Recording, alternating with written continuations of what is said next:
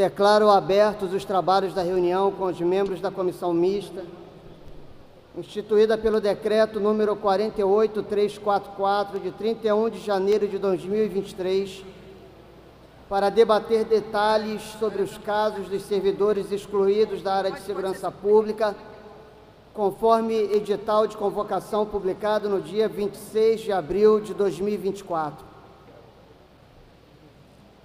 Agradeço a presença do deputado estadual Marcelo Dino, do deputado estadual Carlinhos BNH, da deputada estadual Índia Armelau e do deputado federal Sargento Portugal.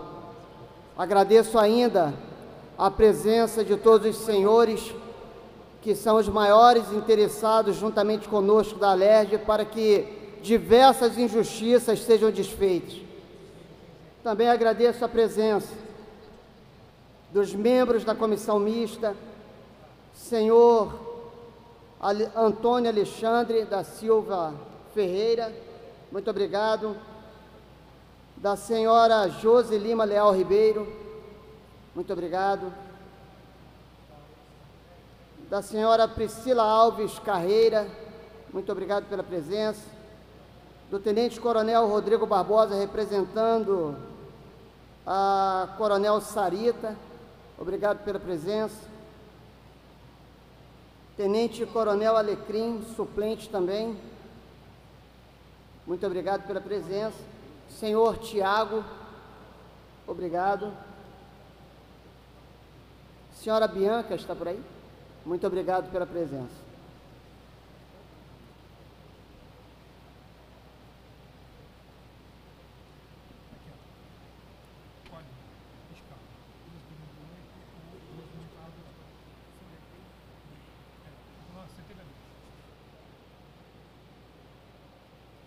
Bom, meus amigos, dando início a essa audiência pública, eu gostaria de deixar claro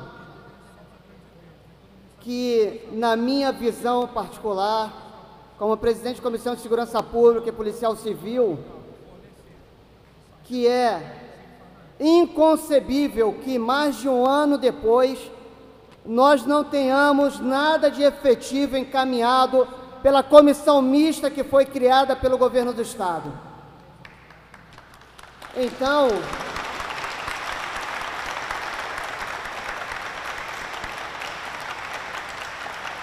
e quero deixar bem claro também para os senhores que não é afeito a este que vos fala jogar para a torcida, gostar de palco, correr atrás de likes, de novos seguidores, nada disso. Eu estou sendo muito sincero. Não foi por falta de diálogo, não foi por falta de conversa, não foi por falta de nada disso. Na minha compreensão, o que está existindo é uma grande má vontade política e eu acredito que a partir de hoje, pelo menos no que depender de mim, isso não continuará caminhando da mesma maneira. Então, Valentim e todos os demais, também agradeço a presença da comissária e também assessora da deputada estadual Marta Rocha, que não pode estar aqui hoje, mas que está devidamente representada pela doutora Sueli, que conhece também profundamente a área de segurança pública nós precisamos sair daqui hoje dessa audiência pública com um encaminhamento muito bem delineado pelo governo do Estado, que aqui está representados pelos membros da comissão mista. Nós deixamos muito claro para o governador, para os demais secretários, por ocasião da criação da comissão, que nós não gostaríamos que voltasse para a instituição ou para as instituições nenhum policial envolvido com milícias, com tráfico, com nenhuma prática criminosa. E que, portanto, aqueles que reconhecidamente fosse comprovado que uma injustiça havia sido cometida, que ao retornar, que não teria problema nenhum que eles passassem novamente por uma nova investigação social. Vencido este temor do governo, a criação da comissão mista foi efetivada. Então, 12 meses, mais de 12 meses depois, Portugal, Índia, Dino, Carlinhos, não é minimamente razoável que os mesmos casos, e é preciso dizer que já se arrastam há muitos anos, há muitos anos, que continuem sem uma definição. E nós não podemos mais tolerar isso. Então, tendo feito a minha intervenção inicial, eu passo a palavra para a deputada estadual Índia Armelau. Bom dia. Meu. Bom dia. Pediria que aumentasse um pouco o microfone da deputada Índia. Espera aí. Bom dia para todos presentes. Muito obrigada. Gente, olha só, como o deputado Márcio já falou, nosso presidente, a gente não vai jogar para público. A gente estava numa reunião online falando sobre isso, que ninguém tem mais paciência nem tempo de vida para perder, tá? E vocês acham que acompanham aqui o trabalho de todos, todos são pela segurança. Eu acho que eu sou a única que não sou policial aqui, mas meu marido é policial, minha família de policial militares. Então vocês podem ter certeza absoluta que daqui para frente, não é Márcio, não tem mais lenga-lenga porque já bateu já o que tinha que bater. Então eu acho que vocês já viram que aqui todo mundo sofre represália. Quem está acompanhando sabe que eu posso falar que a minha família sofreu represália, mas nós vamos para dentro porque estamos mexendo com família, estamos mexendo com sonhos e justiça. Ninguém aqui vai tolerar, ainda mais esses caras que têm o sangue realmente de policial, tá? Então eu vou deixar isso aqui porque a gente tem que ouvir outras pessoas, mas vocês podem contar com a gente. Nosso gabinete está aberto aqui no Rio e o do deputado federal. Então, mais uma vez, obrigada por vocês que estão aqui.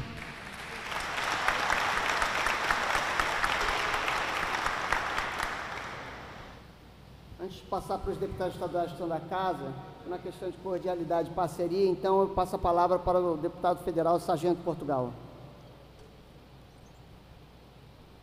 Bom dia a todos. Todos me conhecem. Até pouco tempo a gente estava andando na rua junto ali. E por incrível que pareça, Márcio, continuam vocês com o mesmo problema. Foi um dos meus compromissos, caso ganhasse a eleição, ajudar todos vocês. E vocês podem acompanhar que todo dia eu estou no grupo ali tentando dar uma satisfação, mas uma coisa que eu não consigo entender. E graças a Deus tem um representante da Polícia Militar aqui hoje do Corpo de Bombeiro, da Polícia Penal, não sei se tem do Degás. Tem alguém do Degás aqui hoje? Muito obrigado pela presença também. Da Polícia Civil, tem alguém presente aqui hoje? Muito obrigado. São vidas que estão atrás de vocês aí. Qualquer um de vocês aqui hoje, fardados ou uniformizados, poderiam estar na rua ou podem ir para a rua a qualquer momento. Não existe armadura, armadura nem remédio para isso. Não existe. Eu vivi isso. Ou ganhava a eleição ou estava expulso. Seria eu participando aqui dessa audiência, sentado aí. Se a gente se colocar no lugar desses que estão aí, tenham um pouco mais de sensibilidade. Principalmente a polícia militar, que é a que mais coloca na rua. Colocar na rua é muito fácil. Rasgar na própria carne daquele responsável que colocou vocês na rua, ninguém quer fazer ficaram colocando pano quente nesses 180 dias e depois, como uma, um ato de brincadeira com a vida de vocês, pedem mais 180 dias, Índia. Como é que eu explico para vocês que vocês têm que aguardar 180, mais 180, agora mais 180? Até quando isso vai perpetuar? O que vocês falam dentro da casa de vocês, o que vocês passaram no dia seguinte que vocês foram colocados na rua, só vocês sabem. Cada história, cada família é diferente. Não sei como é que vocês não apertaram o gatilho. Só não apertaram porque olharam para a família, para um filho, para uma esposa que não tem nada a ver com o que fizeram com vocês. E vocês tiveram que se reinventar. Porque quando um cara é colocado na rua sendo policial, todo mundo olha para ele, sabe como? Alguma merda ele fez. Isso é bandido. Sabia que não prestava. Não tem nenhum outro adjetivo que possa favorecer para o nosso lado é depressão, é pensamento ruim, é o tempo todo que a gente passa. Nós acabamos de ter uma página virada, Márcio, na Polícia Militar. E eu espero que ela fique bem longe de vocês, aquela página que foi virada. Porque não ajudou vocês em nada. Não teve coragem de tocar nesse assunto, que é o colega lutando para voltar. Eu não gosto de chamar de excluído. Eu gosto de estar lutando para voltar, porque a culpa não foi de vocês. Colegas que foram inocentados na justiça, colegas que venceram no conselho, colegas que estão tentando mostrar nulidade no processo, e vai lá e protocola um documento e não dá em nada, e protocola outro documento e não dá em nada. Falta de respeito total. Isso só vai acabar, Márcio, quando o secretário sair preso por não cumprir uma decisão. Isso só vai mudar, infelizmente eu falo isso com o máximo de respeito, é porque tem muito mais praça expulso do que oficial. Porque um carrega carta patente e o outro não. E eu nunca vi discutir todo mundo ter carta patente. Vocês não estariam na rua hoje. Vocês não estariam na rua hoje. Somos, sempre fomos tratados com indiferença. Sempre, sempre. Para o praça, tudo de pior. E para o oficial, mais do que certo, todas as garantias, direito ao contraditório, ampla defesa, tudo até o final. Até quando o governador vai lá e demite ele. Vocês foram colocados na rua por um simples mortal que se intitula Deus, muitas das vezes por perseguição. Muitas das vezes por perseguição. E eu espero, Márcio, que realmente nós tenhamos aqui hoje uma audiência pública em que a gente, possa virar a página. Porque mais do mesmo vocês não vão aguentar. Se a gente for pegar a história de cada um de vocês, tem uns que foram colocados na rua há pouco tempo, outros já foram há mais tempo. E eu espero que isso possa reverter. Principalmente, coronel, eu peço ao senhor celeridade eu peço ao senhor, coronel do bombeiro, celeridade. Aos colegas da Polícia Penal, eu peço celeridade. A colega do negado, celeridade. A colega da Polícia Civil, sabe por causa de quê? O nosso futuro é muito incerto. E nós temos que ter dentro da nossa própria secretaria, da nossa instituição, uma blindagem. Aos vagabundos fardados, a cadeia para eles é pouco. É o pior inimigo que a gente tem, é o inimigo interno. Não peço para passar a mão na cabeça de nenhum colega que se desviou no caminho com, com tráfico, com roubo, com o que for, não me esses cumpra, não quero nem que me procurem, mas eu acredito e falo com todos que estão aqui praticamente diariamente. Eu acredito na boa fé do que vocês estão me falando. Eu queria poder ter o poder da caneta, já me coloquei à disposição para participar da comissão mista. Eu protocolei documento pedindo para participar da comissão mista. Eu coloquei o meu gabinete à disposição com o jurídico da comissão para participar da comissão mista. E eu pergunto, Márcio, e encerro por aqui, por que, que até hoje não teve um mutirão? Por que, que até hoje não criaram uma força-tarefa? Por que, que até hoje não usaram as AJDs que servem para nos entregar DRD todo dia? Pela porcaria dessa utilização da câmera, não falta DRD, é o tempo todo. Por que, que vocês até hoje não fizeram isso? não trabalharam sábado, não trabalharam domingo, não trabalharam no feriado, pagasse um raio para isso tudo, porque esses que estão aqui não têm tempo a perder. Desculpe o que eu vou falar para vocês. Talvez vocês não tenham culpa, mas hoje vocês são culpados pela não volta deles. Fiquem na paz de Deus e carreguem isso no coração de vocês.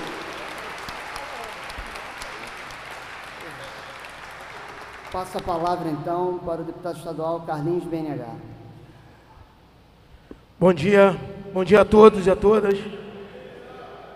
Bom dia, presidente, bom dia, mesa. Presidente, eu acho que nosso maior intuito hoje aqui é sair com uma resposta. É o que a gente precisa, o mais importante de tudo aqui é sair com uma resposta para essa tropa que tanto cobra a gente. Meu WhatsApp, minha, meu Facebook, meu Instagram, ele não para um minuto de tantas mensagens de policiais que foram excluídos injustamente e tem a esperança de voltar pedindo uma resposta e a gente não sabe o que falar para eles. Quanto tempo já se passou? Alguns deram entrada na Carpade, na antiga Carpade, entraram através da comissão mista. Olha quanto tempo já se passou. Tivemos várias reuniões, eu, eu mesmo tive várias vezes, até com o próprio governador, para falar com ele sobre isso. E o governador falou: está andando a comissão, e sempre falando que ia dar uma resposta e essa resposta não chega. O que nós estamos discutindo aqui hoje é principalmente acabar com o R Quero. O policial sabe o que é o R Quero. Você vai lá, é julgado, analisado pelo colegiado, três oficiais faz o procedimento, o militar é absolvido e mesmo assim, por uma decisão monocrática, o comandante-geral vai lá e exclui. Então eu sempre, eu sempre toco nessa, sempre uso essa fala, gente. Se não precisa do colegiado, é a mesma coisa que não precisa também do júri popular, né? Quando for julgado no, no crime de homicídio, se o júri decidir que absolve, então como é que o juiz vai condenar? Então não precisa do júri. Então, essa comissão mista aqui, isso aqui que foi organizado, é uma forma até de proteger os oficiais que faz o colegiado. E eu conversei com vários oficiais sobre isso, presidente. Isso ajuda os oficiais que fazem a investigação. Porque quando eles chegam a uma decisão e absorve o militar, infelizmente se tem uma decisão monocrática, tira a credibilidade daquele que investigou. Então é uma comissão que foi montada para decidir a vida de vários chefes de família que foram injustiçados. Como o presidente foi muito feliz aqui em dizer que ninguém aqui está a favor que volte o mal militar, seja o bombeiro, seja o DESIP, seja o DEGAD, seja o PM, o policial civil, aquele que presta um serviço ruim. Ninguém aqui está querendo julgar isso. Esse a gente não quer que volte, mas a gente quer que volte aquele que seja injustiçado. Então, hoje, os principais que a gente tem que ouvir aqui, presidente, é a comissão. É a comissão. O principal que tem que falar aqui é o representante da Casa Civil, que eu tenho certeza absoluta que a comissão mista, ela já chegou aqui. A comissão mista, ela já chegou no veredito, ela já chegou. E alguns pareceres de quem é que tem que voltar, quem não tem que voltar. Agora, se o governo está com medo de publicar quem tem que voltar e quem não tem que voltar, então não criasse a comissão mista. Para a gente não ficar aqui perdendo tempo. Então o principal que tem que falar aqui é a Casa Civil que tem que falar, presidente. A Casa Civil tem que se posicionar aqui e dar respaldo aos pareceres que eu tenho certeza absoluta que a comissão mista ali que foi criada, dos oficiais, do representante do DEGAS, do DESIP, de todos que estão aqui do bombeiro, ele já tem algumas decisões tomadas, mas precisa ter responsabilidade e coragem de publicar essas decisões.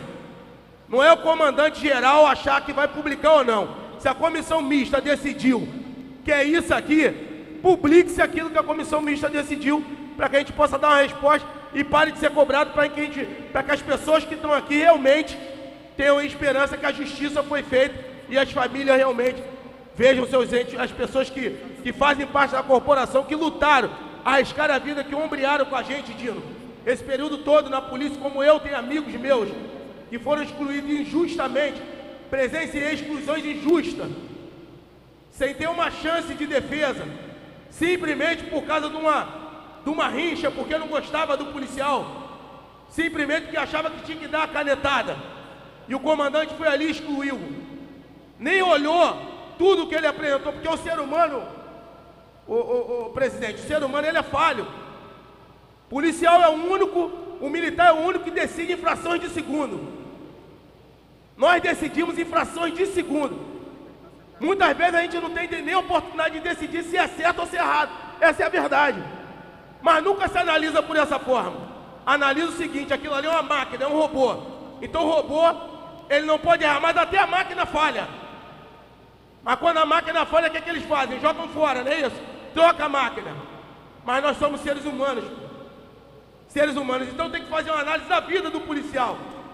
Então o que nós cobramos aqui é que os bons policiais voltem. Até porque nós temos um déficit muito grande nas polícias, no bombeiro, que volte e que a Casa Civil assuma a sua responsabilidade. Se a comissão mista decidiu, que publique e resolva o problema.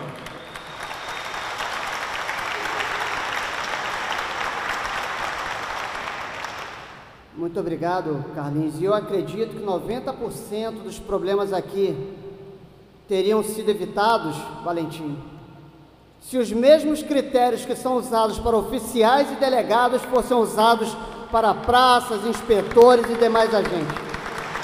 o pro- 90% dos problemas estariam resolvidos. Agora, o que não pode haver são dois pesos e duas medidas. Passa a palavra então para o deputado estadual Marcelo Dina. Bom dia, senhor presidente. Bom dia a todos presentes. Eu não vou dizer que é uma honra estar aqui, porque eu não gostaria de estar aqui nessa audiência. Eu gostaria de estar porque realmente é um momento muito triste e difícil. Eu que sou soldado da Polícia Militar, sou soldado da Polícia Militar, tenho honra de dizer que sou policial militar. né, Um dia desse até colocaram ex-policial, não, foi policial. Sou RR. E eu posso falar com muita propriedade, muita propriedade das covardias que acontecem muitas das vezes. E desde vereador sempre falei que eu ia honrar a minha corporação, mas como vereador pouco podia fazer. E quando eu olho ali a comissão, quando foi criada em 31 de janeiro de 2023, deputado Márcio Galberto, me faz lembrar que no mandato passado nós já estávamos travando essa guerra e essa luta. Hoje, muito melhor, que hoje nós temos aqui o Carlinho BNH, temos a Índia e tantos outros também que ombreiam junto conosco nessa luta, nessa batalha. Então, para mim, vou dizer agora, a outra parte é a honra de poder estar aqui tentando fazer com que essa injustiça seja reparada. Aí eu olho aqui na minha frente, Natas das Praças, Ferreira, Portugal, Portugal que era lotado no meu gabinete, não é isso, Portugal? E o Portugal foi um, é um dos que pode falar com grande propriedade a perseguição que ele, que ele, que ele teve. Mas ele teve um parceiro que fui eu, que estava sempre ali tentando travar para que ele não fosse excluído. Porque infelizmente as covardias acontecem, as perseguições acontecem. E eu mesmo fui um perseguido no 15º Batalhão, em que infelizmente um subtenente quis me excluir de qualquer forma. E vários colegas que chegam até a minha pessoa e depois você vê que realmente são perseguições. Peguei um sargento por uma briga de um, de um capitão e um coronel. Ele fez uma ocorrência de vulto, só para vocês terem ideia. Aí o capitão falou que a ocorrência era dele, chegou o coronel e falou: não, a ocorrência é nossa. E aí depois ele caiu exatamente aonde? No batalhão do capitão. E começou a DRD, porque o coturno está sujo, porque o cabelo está grande e não sei o que, e ele ia cair na insuficiência. Na época fui até ao coronel Figueiredo, falei, isso é uma covardia. Ele foi transferido de graça, 34º Batalhão, e nunca mais teve problema. Mas infelizmente, é o que o meu amigo falou aqui, é requero, as covardias.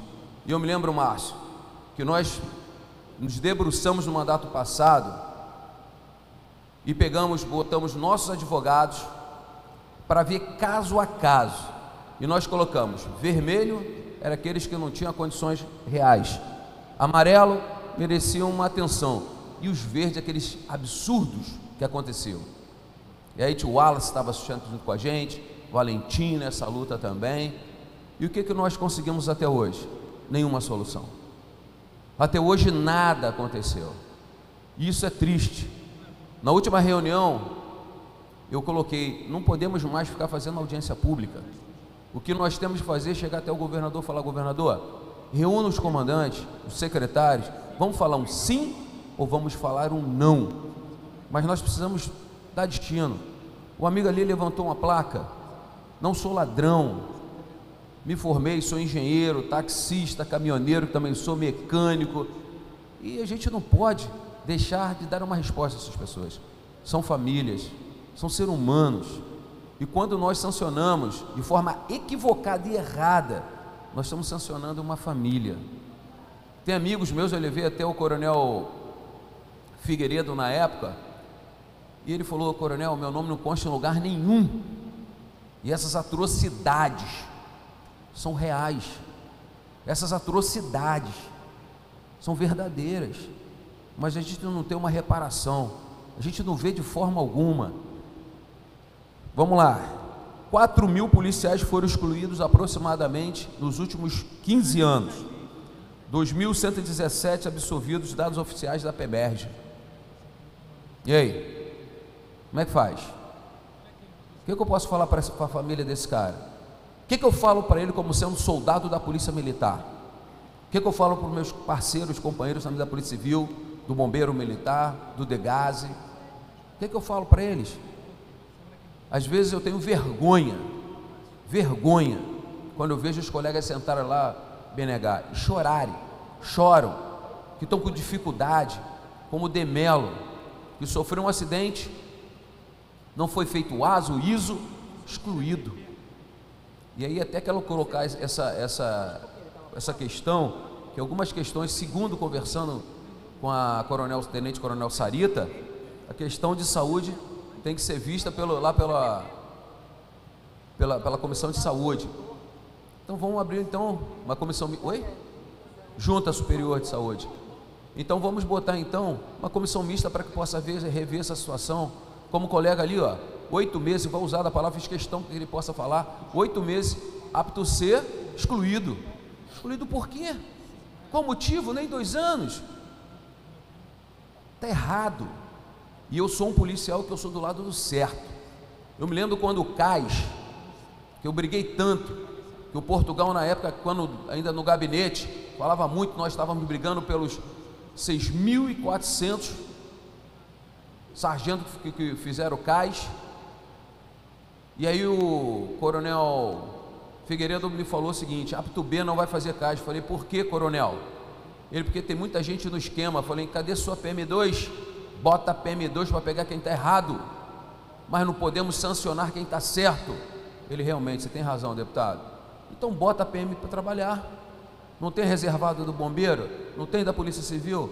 Não tem da, da, da, Então tem que fazer. Agora, aqueles que são injustiçados, nós temos que fazer reparação disso aí. É inadmissível. Quer dizer, nós estamos aí, ó, mais de um ano e quantas soluções? Aí eu vou perguntar isso ao, coronel, ao tenente coronel da Polícia Militar, tenente coronel do Bombeiro, não sei se é delegada, não está aí, Degase.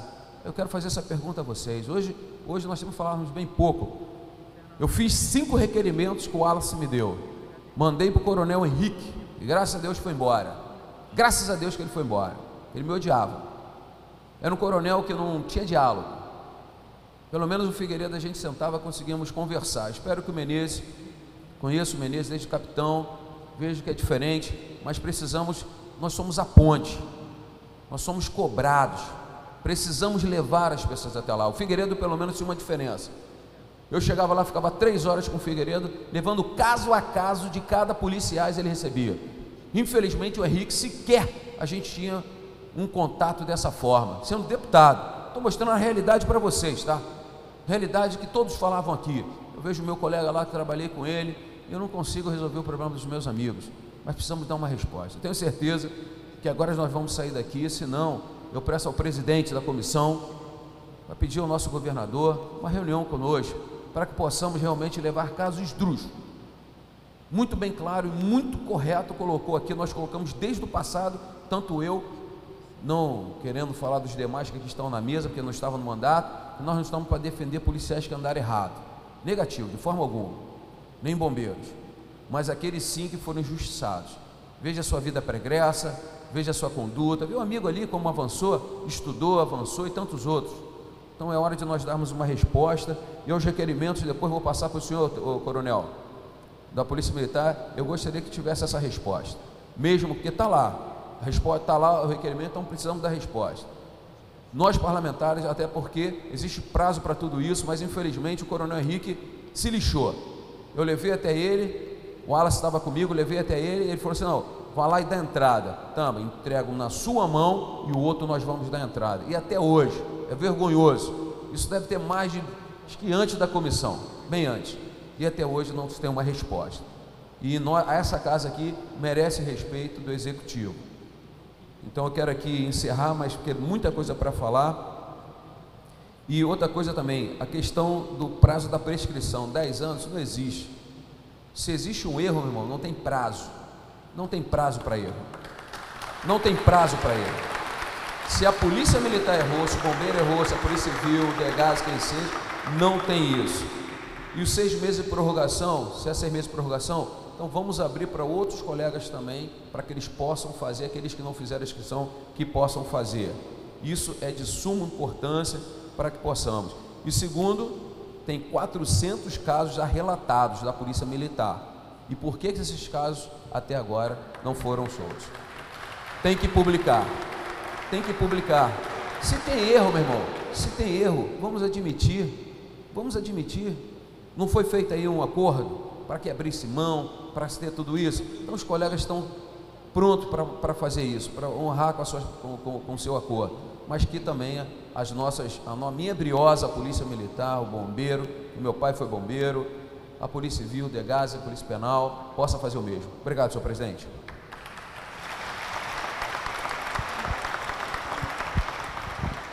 É, é, enquanto Marcelo estava falando e falou muito bem, como os outros membros aqui da mesa, eu recebo então uma notícia do jornal Metrópolis.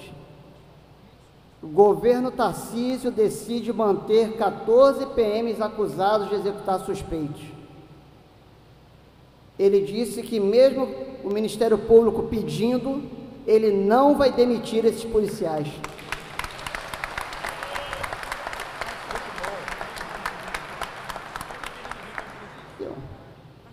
Então, eu acho que tem alguma coisa a ver com a nossa audiência hoje aqui.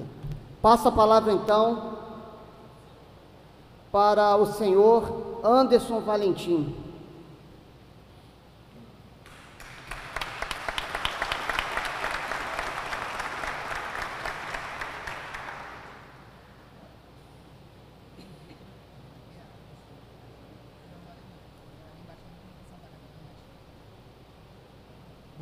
Bom dia ou boa tarde. Gostaria de agradecer ao convite do deputado Márcio Roberto, Marcelo Dino, deputado Sargento Portugal, Índia Armelau e nosso amigo Carlinhos BNH. Eu vou tentar ser bem breve, porque essa batalha que a gente trava, a gente trava desde 2016, né? E o que a gente vê ao longo dos anos numa fase, você tem uma perspectiva boa de realização, de que as coisas vão acontecer, e logo em seguida a gente toma um banho de água fria. Em 2016, quando a gente começou a falar de excluído, eu lembro que colegas, né, chegaram para mim, pessoal da ativa, e falavam o seguinte: Valentim, você só pode ser maluco. Você vai trabalhar para bandido, você vai trabalhar para vagabundo. Esses caras foram excluídos porque alguma coisa, algum crime eles cometeram.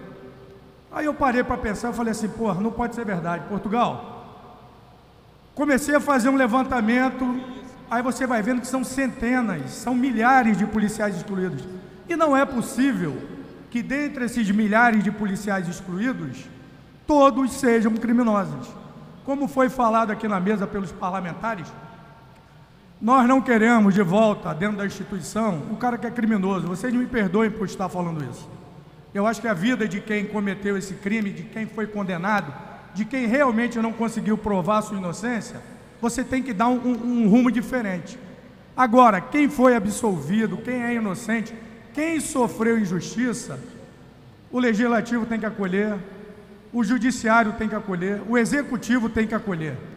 Porque se você comprovou a tua inocência, irmão, você tem que estar dentro da polícia. Se você comprovou que você é um cara do bem, você tem que estar dentro da polícia. Se falou aqui em perseguição, eu não gosto de citar meu caso, eu não gosto de ser exemplo para ninguém. Mas eu sou um perseguido. Eu estou respondendo meu segundo conselho de disciplina e vocês perguntam: é crime? Você cometeu algum crime? Você matou um mal matado? Você roubou? Você fez alguma coisa que chocou a sociedade? Não. Eu simplesmente sou submetido a um conselho de disciplina por ter opinião.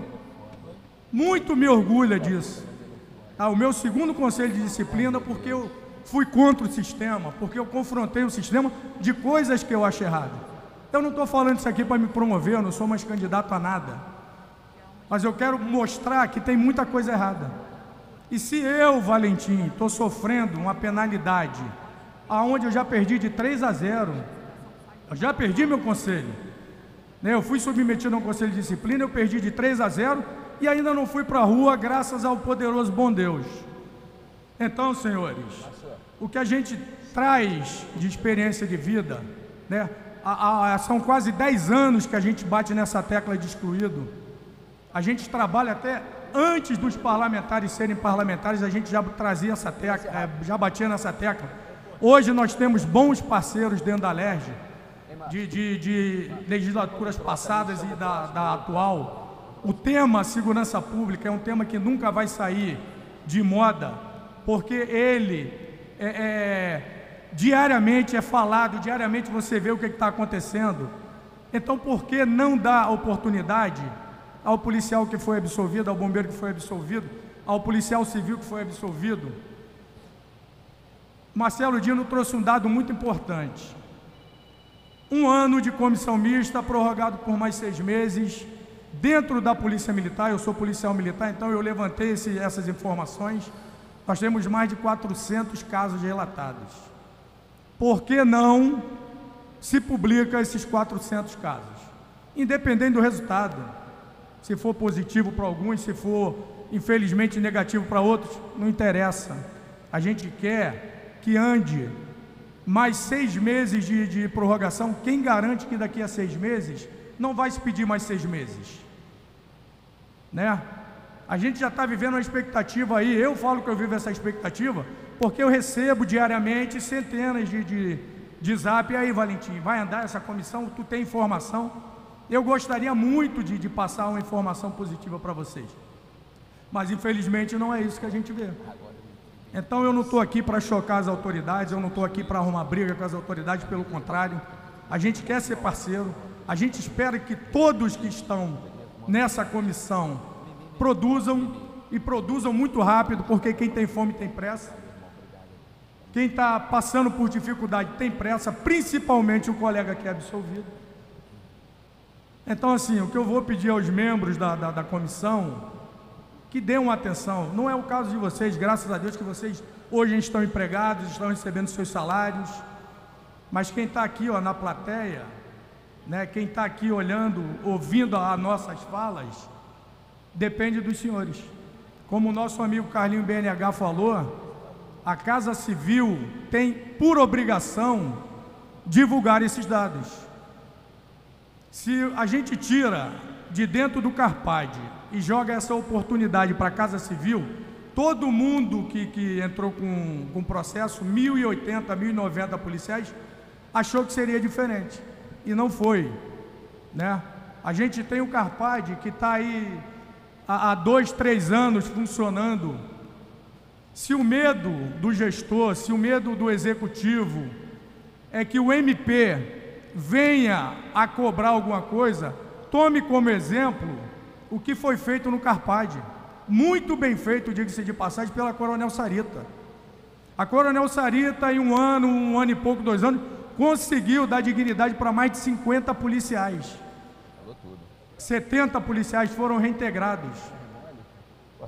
Qual é o medo da Casa Civil? Qual é o medo do, do gestor da Casa Civil, do coordenador, de tomar bolo na mão? Só é fazer o certo. Eu acredito que esses 70 casos foram tão bem relatados, foram tão bem instruídos nesses seus, nos seus processos, que o MP não foi cobrar. Então, que sirva de lição, que sirva de lição para o gestor, que tenha mais humanidade, que o nosso governador tenha consciência disso, que tragam os bons policiais para a tropa, né? dê oportunidade para essas pessoas. Vou corroborar com a, fala, com a fala do deputado Marcelo Dino, prazo prescricional de 10 anos não existe. Então quer dizer que o policial que foi absolvido por inexistência do fato negativa de autoria, há 11 anos ele não deve voltar? Isso não existe. E se ele foi absolvido, a qualquer tempo, a qualquer hora, o gestor pode.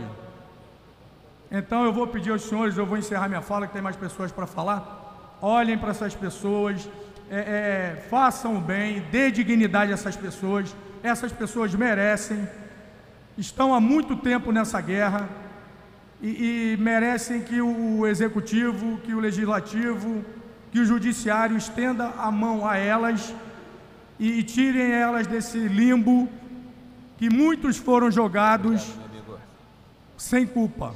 Volto a falar: o bom policial, o bom funcionário ele tem que estar nas fileiras. Tá ok? Muito obrigado pela oportunidade. Fiquem com Deus.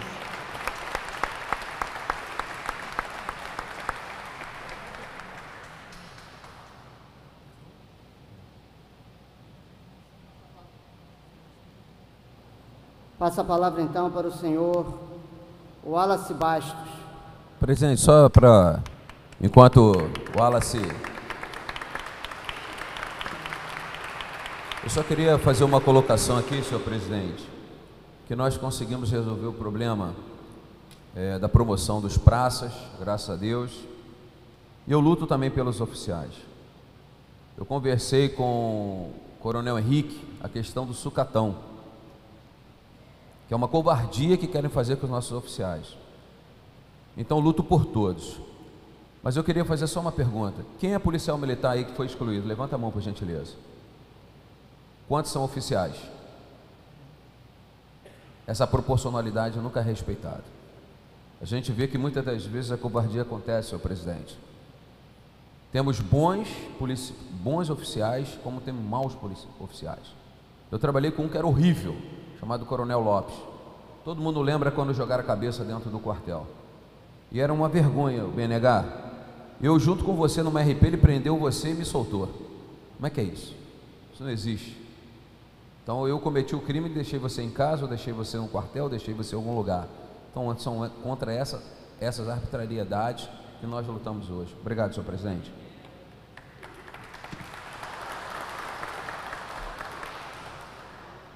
Bom, vem saudar aqui a, ao presidente dessa audiência pública, a todos os membros da mesa, e dizer que eu estou voltando aqui depois de cinco anos. Há cinco anos atrás, eu estive aqui, nesse púlpito, do lado de lá. É, a Comissão de Segurança Pública era presidida pelo deputado Carlos Augusto, que fez a primeira das audiências públicas com referência aos excluídos da corporação. E desde lá, presidente, a gente não tem sucesso. Por quê? Não é nos dado o contraditório. Há cinco anos atrás, eu subi aqui, porque quem deveria subir deveria ser o Sargento Valentim, lá da Pazepol. Uma instituição que foi criada pelos excluídos, porque nós nunca tivemos voz. Então, eu e Valentim, a gente trabalhava juntos lá na Pazepol e a gente conseguiu, através do Valentim e o do deputado Carlos Augusto, é, a primeira audiência pública e o Valentim estava preso 30 dias por estar justamente dentro do crime de opinião. Graças a Deus ele não foi excluído até hoje. Né? Então, é, eu queria dizer para o deputado Carlinhos BNH que a gente não precisa de resposta. A gente precisa entender aqui, nessa comissão mista, através de todos os membros da comissão mista, que todos eles são bacharéis em direito, para eles nos explicarem se existe a exclusão automática. A Corregedoria Geral da, da, da Polícia Militar, está aqui o Coronel Barbosa, que faz, fez parte ou faz parte ainda da, da assessoria jurídica do GCG, não é isso? Então, a Polícia Militar, o Coronel Renan, o Coronel Luiz Henrique, o Coronel Corregedor, a Coronel Sarita, Todos eles entendem que existe uma tal de exclusão automática. O que é uma exclusão automática? Publicou no boletim, o cara está na rua. Publicou no boletim, o cara pode estar de férias, o cara pode estar fora do estado, o cara pode estar em qualquer lugar do mundo, o cara pode estar internado numa cama do hospital. Publicou no boletim, a exclusão é automática. Eu estive agora, no dia 16 de abril, agora recentemente, Fui levar um policial militar lá, onde nós ganhamos por unanimidade dos 25 desembargadores do TJ, do órgão especial, que ele fosse intimado. Por quê? Nessa exclusão automática, presidente, o, o comandante-geral não é obrigado a intimar o acusado da sanção disciplinar que ele aplicou. Basta publicar no boletim que o cara já está excluído. Por isso que é chamado de exclusão automática. Então, nessa exclusão automática, que os membros aqui da, da comissão mista podem explicar, se o policial militar, diante dessa interpretação, ele não tem direito ao contraditório, ele não tem direito à ampla defesa, ele não tem direito ao devido processo legal, ele não precisa ser intimado da sanção disciplinar que lhe foi aplicada, ele não precisa ser intimado da solução do recurso que ele interpôs, que é o recurso de reconsideração de ato? Porque se o artigo 49 da Lei 443, que é o Estatuto Policial Militar, se está previsto lá que o policial militar ele tem direito à reconsideração e à queixa, a interpretação da atual, aliás, a interpretação da antiga gestão do coronel do coronel Luiz Henrique, como o senhor coronel é, entende que existe essa exclusão automática, essa exclusão automática é legal? Eu disse que nós não temos direito ao contraditório. E por que, que nós não temos? Porque após a decisão publicada em boletim, a CGPM, que é a que orienta tecnicamente o comandante-geral, que é o órgão técnico da Polícia Militar em, na matéria de disciplina e justiça, na justiça e disciplina, ela tornou letra morta o artigo 49 da Lei 443. Porque se a lei diz que nós temos direito ao recurso de reconsideração e da queixa, esse tipo de exclusão automática acaba com esse tipo de interpretação. Ou seja, a lei, o artigo 49 da Lei 443 é letra morta, não serve para nada. Como disse o, o deputado Marcelo Dino, é o R quero. É o que a Polícia Militar quer entender. Então, se nós não podemos entrar com recurso, se nós não podemos ter esse recurso é, sobre intimação, se nós não podemos sequer ser intimado desse recurso, porque nós já somos considerados excluídos, cadê o devido processo legal? Nós não temos a ampla defesa, senhores, e é bom que aqui eu estou falando com todos os membros da comissão mista, porque nós não temos só aqui a polícia e o bombeiro que fala exatamente sobre o decreto 2155 e a resolução 971, mas todos os demais membros da comissão mistas são bacharéis em direito. Eu acredito que sim. Eu estou certo disso? Todos os senhores são bacharéis em direito? Então, os senhores não podem dizer que não conhecem a lei. Porque a LINDB, que é uma lei supralegal, o que, que ela diz? Ela diz que o juiz, o juiz natural do processo, ele só pode julgar com analogias, princípios gerais de direito e com costume se houver omissão da lei. Mas a omissão, mas o artigo 49, que diz que nós temos direito ao recurso de reconsideração e queixa, tem alguma omissão nisso?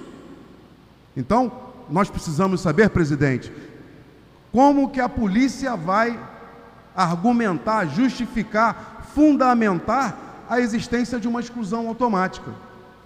Então, recentemente, dia 4 de dezembro agora, nós conseguimos que 25 desembargadores dessem a segurança para o Cabo Vitor ser intimado. A PGE, ela entrou no circuito e disse que o, o policial militar tinha que ser intimado por carta registrada com aviso de recebimento. Aí o que o corregedor fez? Intimou por carta registrada, sem aviso de recebimento. Ou seja, a intimação não foi pessoal. Mas os senhores sabem, a lei diz que se o policial militar ele se apresenta no QG, ele supre a falta, a irregularidade da intimação. Então, qual seria o dever do comandante geral? Apresentá-lo à autoridade imediatamente superior. O senhor concorda, Coronel Barbosa? Se nós temos direito ao recurso de reconsideração e queixa, como é que nós vamos nos queixar ao governador do estado se o comandante-geral não apresenta o policial militar ao governador? E pasme, senhores, nesse dia 16 de abril último, onde eu discuti com o coronel Renan e o coronel Halik, lá na antessala do comandante-geral, porque o coronel Renan ele trouxe uma petição que a gente, nós solicitávamos. O nosso escritório de advocacia solicitava a apresentação do policial militar ao governador. Então, a polícia descumpriu decisão judicial. E nós pedimos a condenação do secretário de Polícia Militar. E nós não queremos entrar com a notícia crime. Por que, que a gente não quer, presidente? Porque a gente sabe que quem cometeu as ilegalidades, as irregularidades processuais, foi o comandante-geral, possivelmente, ele vai dizer, que seguiu o seu órgão técnico, que é a corregedoria. Mas de quem é a responsabilidade da sanção disciplinar aplicada? De quem é a responsabilidade de todas as pessoas que estão aqui excluídas? A responsabilidade é do chefe da pasta, é do comandante geral. A responsabilidade foi de quem assinou o ato de exclusão. Então, o comandante, o coronel Luiz Henrique, ele poderá ou não responder pelo crime de abuso de autoridade, de prevaricação e até o crime de tortura.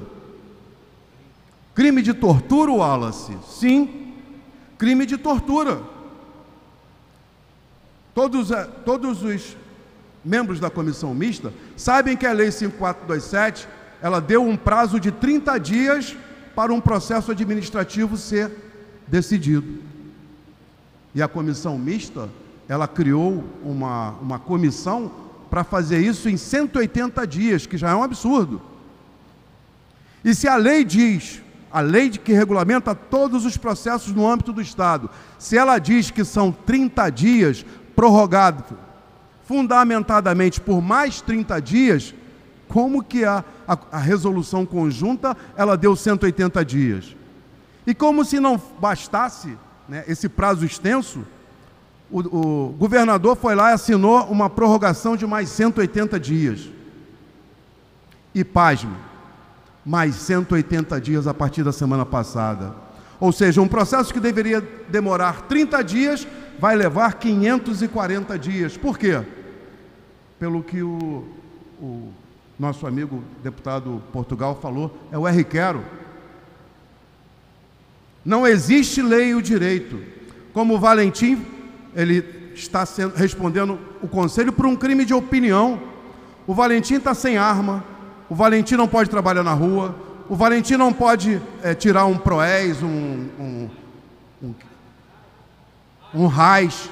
Por quê? Porque ele está respondendo o conselho. Ele tem que trabalhar interno. Ele está recebendo um castigo pessoal? Sim. Existe uma previsão lá no artigo 13 do decreto 2155, coronel, que diz que o comandante-geral, quando ele recebe os autos do Conselho de Disciplina, ele tem 20 dias para dar a decisão. E esse artigo 13 do decreto 2155, presidente, ele diz que o comandante-geral ele pode concordar ou discordar do julgamento dos membros do conselho.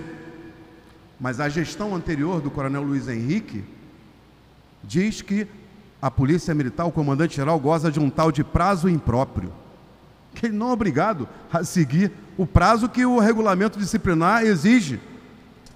O artigo 57 do RDPM, gente, ele prevê que o comandante-geral ele tem que resolver o recurso de reconsideração de ato em quatro dias úteis. Alguém cumpre isso, coronel? No bombeiro eu não sei, mas na polícia militar eu tenho certeza que não cumpre. Aliás, o Valentim é prova disso. A gente pode entrar com pedido de reconsideração de ato, Valentim, se você for excluído e a polícia militar ela tem que resolver isso em quatro dias. E você sabe que não pode ser excluído porque seu processo é todo ilegal. Nosso escritório funcionou como advogado no teu processo. Nós temos várias pessoas aqui que foram excluídas dentro de 14 vícios anulatórios. Os membros da comissão mista estão aqui e sabem que o nosso escritório ingressou apenas com uma petição. Todas as petições são uma só, não são, coronel? Todas as petições do grupo Vidas Manchadas têm um só texto. Por quê? Porque ela traz todas as, todos os 14 vícios anulatórios. E se nós temos 14 vícios anulatórios, basta um para que o policial militar ele volte à corporação. Como o Valentim falou, a Coronel Sarita, ela devolveu para a corporação mais de 60 policiais militares. A Coronel Sarita, embora o Valentim ele ache que ela fez muita coisa, não fez, Valentim. Porque, por exemplo, os casos de repercussão obrigatória estão aí até hoje. E como o próprio nome fala, é repercussão obrigatória. Não pode existir outra coisa senão a reintegração. Então, membros da comissão mista, o que é crime é de poder e competência do Poder Judiciário. O que é transgressão disciplinar é de poder e competência do chefe da pasta, tanto do DEGASE, do CEAP, da Polícia Civil, do Bombeiro, da Casa Civil. O que é de poder e competência dos senhores avaliarem é se houve vício anulatório no processo. Porque se existiu apenas um vício, o processo ele deve ser anulado. Porque se os senhores fizerem o dever de casa, pegarem a materialização desses vícios e levarem o conhecimento do chefe das pastas, pelo menos na Polícia Militar e no Corpo do Bombeiro, eu não sei a legislação mais específica do DEGASE, do CEAP, da Polícia Civil ou da Casa Civil, na Polícia Militar, o artigo 44 diz que o comandante-geral, se tomar conhecimento da ilegalidade ou da injustiça, ele deve anular o ato administrativo e todos os nós deveremos ser reintegrados. Então a gente precisa sair daqui, presidente, com uma decisão da comissão mista, orientando aos chefes da pastas se existe ou não o vício anulatório se existe um, se existe dois, se existe três, se existem 14 vícios anulatórios. Foi uma sugestão que o, que o deputado Portugal deu ao, ao doutor Vitor.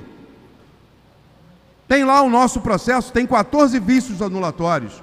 Se os senhores acharem que cada um desses vícios é um vício anulatório, distribua entre 14 oficiais. Os senhores não precisam julgar, julgar todos os processos administrativos. Cada um dos senhores, se encontrar um vício anulatório, já é o suficiente para retornar o policial militar à corporação. Basta os senhores da comissão mista orientarem o chefe da pasta, de, da respectiva pasta de vocês, e eles, pelo menos Polícia Militar e Bombeiro, deverão anular o ato administrativo pelo que está escrito no artigo 44 do RDPM. Por favor, conclua, senhor Horas. Então, para terminar, a gente precisa que essa casa é, conceda o contraditório e a ampla defesa. Aliás, presidente, isso já está nos processos materializados tanto pela Pazepol, tanto pela, pelo Grupo Vidas Manchadas, como por cada um que levou o seu processo à comissão mista. Então, basta haver a decisão dos membros do, da comissão mista para que nós possamos ou entrar ou sermos reintegrados ou entrarmos com recurso, recurso contra a decisão do chefe da pasta, porque é isso que consta na resolução conjunta. Num primeiro momento, os senhores vão dizer para o chefe da pasta se existe vício anulatório ou não. No segundo momento, o chefe da pasta vai concordar ou não com a opinião dos senhores. E no terceiro momento, quem não estiver satisfeito pode entrar com, uma, com, uma, com um recurso ao governador do Estado. É isso, presidente, que está na resolução. É isso, presidente, que nós precisamos ter a resposta. Se são 30 dias, nada justifica um prazo de 180, muito menos 360 e principalmente é absurdo, é teratológico, é um crime de tortura, presidente, contra todo mundo que está aqui presente nessa, nessa casa. Muito obrigado. Fiquem com Deus.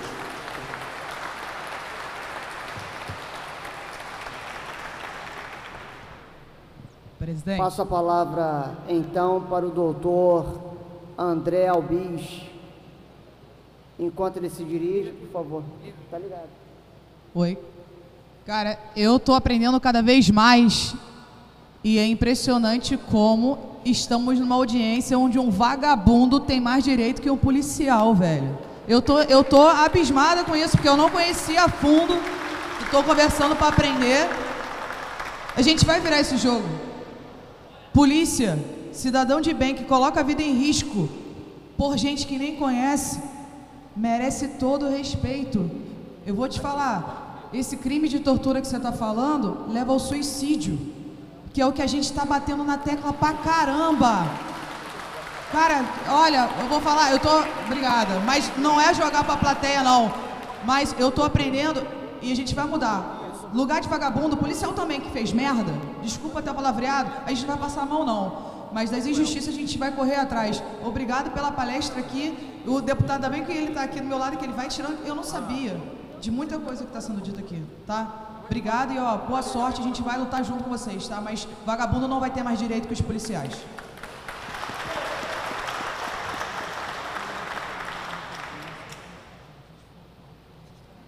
Bom dia, excelentíssimo senhor presidente Márcio Goberto. Gostaria de saudar a todos aqui presentes, na pessoa de quem saúdo os demais membros dessa mesa e principalmente os policiais hoje aqui que estão demitidos. Eu sempre falo o seguinte: a demissão ela tem que ser vista com muito cuidado, ela não pode ser banalizada. E eu já analisei milhares de processos, centenas de processos no mínimo, e você vê ali que o policial que, sobretudo, ele é um pai de família, ele não tem o respeito a seus direitos.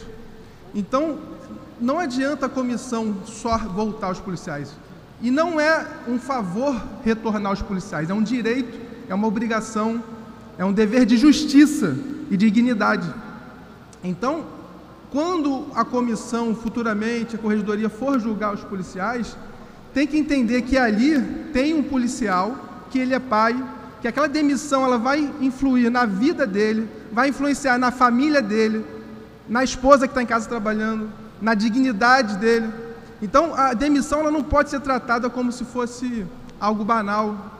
Às vezes, a, a, a, o conselho, três votos favoráveis, aí chega, e os votos fundamentados, apurando a conduta do agente, explicando por que, que ele tem que ser absolvido às vezes até pedindo a punição de 20, 30, 60 dias, e aí chega o comandante, o delegado, e demite o policial sem qualquer fundamento. Então, eh, eu estou aqui para falar da parte técnica. Toda decisão administrativa tem que ser fundamentada. E se você procura, muitas vezes você não acha a fundamentação que justifique. Não existe proporcionalidade, não existe um compromisso muitas vezes com os policiais. É claro, vale sempre repetir aqui, que ninguém quer um mal policial, ninguém quer um policial bandido, um cara que está fazendo mal à sociedade, ninguém quer isso. Ninguém que está aqui, nem vocês, nem, nem os deputados, queremos um mal policial servindo as corporações. Agora, o que não dá para a gente entender é o policial que é absolvido pela justiça o Poder Judiciário, que detém né, de toda a capacidade técnica, de, de artifícios, para condenar, o Ministério Público está lhe acusando, e ele não consegue provar a conduta do, do agente, e a administração pública vai e demite o policial. E aí diz que foi resíduo administrativo. Como que pode ter, um, por exemplo, um policial acusado de extorsão, ser absolvido e ter um resíduo? Qual resíduo? E não se preocupa sequer em provar esse resíduo administrativo. Pior, tem casos que policiais foram absolvidos por negativa de autoria, inexistência do fato. Isso faz coisa julgada na esfera administrativa e esse policial ele tinha que voltar. Isso faz, faz o Estado ter a obrigação legal de voltar. E eu vou falar aqui um pouco dos requisitos. É, quando vi é, a resolução conjunta, os requisitos, eles basicamente, se você for analisar tecnicamente, eles são intransponíveis. É impossível o policial preencher todos os requisitos que estão aqui. Por quê? Primeiro, ele tem que pegar 30 dias para fazer o requerimento. Depois, tem que ser baseado em fatos novos. Ou seja, tudo o que já aconteceu, o que ele lutou, não vale. Ele tem que fazer, ele tem que achar um fato novo para justificar. Ele tem que ser absolvido do processo criminal. O que aí já entra uma vírgula, né? É outra coisa que eu acho importante, que o policial é a única, é a única carreira que coloca a sua vida no contrato. Todo policial que começa na carreira, ele sabe que ele pode morrer pelo Estado. E o que ele espera é que o Estado, pelo menos, dê dignidade a ele, que dê apoio a ele. E muitas vezes o, o ser humano erra e acaba cometendo um crime. Crime, às vezes, por culpa, crimes leves, e aí o policial trabalhou 30 anos, trocou tiro, subiu o morro, prendeu, arriscou sua vida, levou, tem muitos baleados. e aí simplesmente comete um tipo de erro culposo e o cara é posto na rua sem nenhum direito. E aí você precisa ser, ser absolvido, você tem que renunciar todo o dinheiro que você teria para receber. Então vocês não têm um custo para o Estado. Na verdade, vocês seriam contratados para trabalhar com a experiência que têm, sendo inocentes e mesmo assim estão aguardando. Tem que apresentar certidões, não pode ter condenação transitada julgada em ação civil pública. E, por fim, eu vou ler aqui o parágrafo 2 do artigo 5 da resolução conjunta. Não será conhecido o pedido de revisão administrativa que tenha por objeto decisão judicial transitada em julgado com a improcedência do pedido de reintegração ou anulação do ato administrativo sancionatório, desde que baseada na mesma causa de pedir. Quem entende um pouco de direito sabe que a causa de pedir é a demissão. E o que, que faz o policial que é absolvido na justiça e está demitido? Ele busca a justiça. Ele vai entrar no Poder Judiciário aguardando e esperando que aquela, aquela injustiça seja sanada. E o que muitas vezes faz o Poder Judiciário? O Poder Judiciário simplesmente olha e fala: foram atendidos todos os requisitos legais, ampla defesa, contraditório, não tem nulidade, cabe à administração pública julgar os seus servidores e não o Poder Judiciário. Ou seja, o juiz, o desembargador, ele não entrou no mérito se aquela demissão foi proporcional, foi desproporcional, foi justa, foi injusta. E eu chamo a atenção aqui o seguinte, que eu vejo que pelos próprios dispositivos que estão postos aqui, que existe um, um grande receio de contrariar o Poder Judiciário. Mas nós temos três poderes: executivo, legislativo e judiciário. Não cabe o poder judiciário analisar se o policial cometeu ou não o crime. Isso cabe, desculpa, a infração disciplinar, ele avalia o crime. E no crime o poder judiciário absolveu o policial. Então, a administração pública, ela tem o dever de avaliar o ato e não ficar presa à decisão judicial, que muitas vezes um estagiário que fez nem leu a petição e o juiz simplesmente pensa, ó, se a polícia não quer ele, não sou eu que vou aqui julgar. E aí, não tendo julgamento de mérito, fica impedido de ter a análise do processo administrativo. Então tem que ter ponderação, tem que ter ciência que está em julgamento pessoas inocentes, pais de famílias, trabalhadores, que são policiais e merecem ter sua dignidade restaurada. O que eu vejo é que as pessoas, até hoje, estão sofrendo porque elas estão nessa ansiedade, ah, vai acabar o prazo, e agora? Será que vai publicar? Ficam olhando aquele processo, têm esperança porque já foram injustiçados.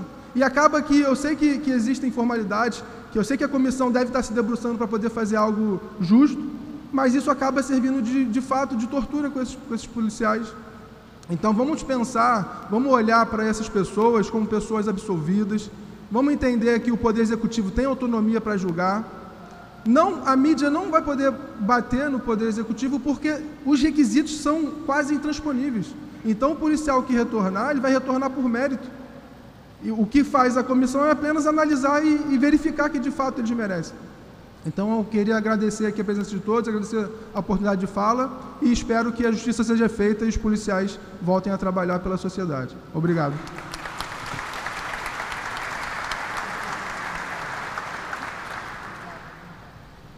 Muito obrigado, doutor André. Passo a palavra então para o doutor Antônio Alexandre da Silva Ferreira.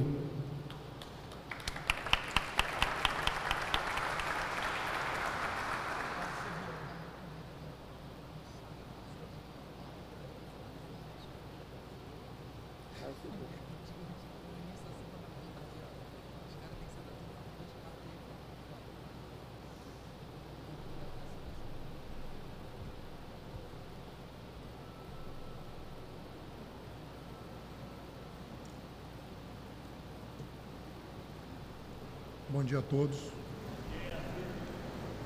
Deputado Márcio Galberto, deputado Lídio Leval, deputado Sargento Portugal, deputado Carlinhos, deputado Marcelo Dino. É, vou tentar fazer uma explanação. O decreto inicialmente estabeleceu parâmetros, recebemos um número de processos é, demasiados em cada secretaria é, um universo aproximado de 1.600.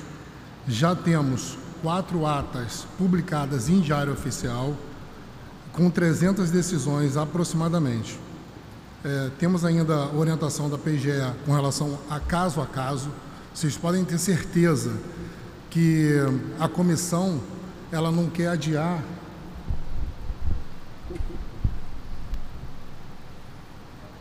nenhuma decisão por qualquer que seja a pressão. É, mas é analisado todos os fatores. Inclusive, é, é muito importante vocês saberem que a gente, todos os membros da comissão, eles têm interesse em dar a decisão final, porque eu acredito realmente no que até foi falado pelo Anderson Valentim, que é a tortura. A gente entende também dessa maneira que esse atraso é prejudicial, não só a vocês, como a nós, membros da comissão. Todos somos membros da comissão e estamos acumulando com outras funções que nós exercemos no Estado, temos cargos efetivos e a gente tem interesse realmente em que as soluções sejam apresentadas é, caso a caso. Então, realmente é um número de processo enorme em que cada vida importa e a, a comissão ela tem esse interesse. Só que realmente é um número de processos é, que tem que ser analisado com muito cuidado para não ser cometido nenhuma injustiça, presidente. Se eu tenho alguma pergunta, eu acho que a, a, a princípio a Casa Civil se coloca à disposição.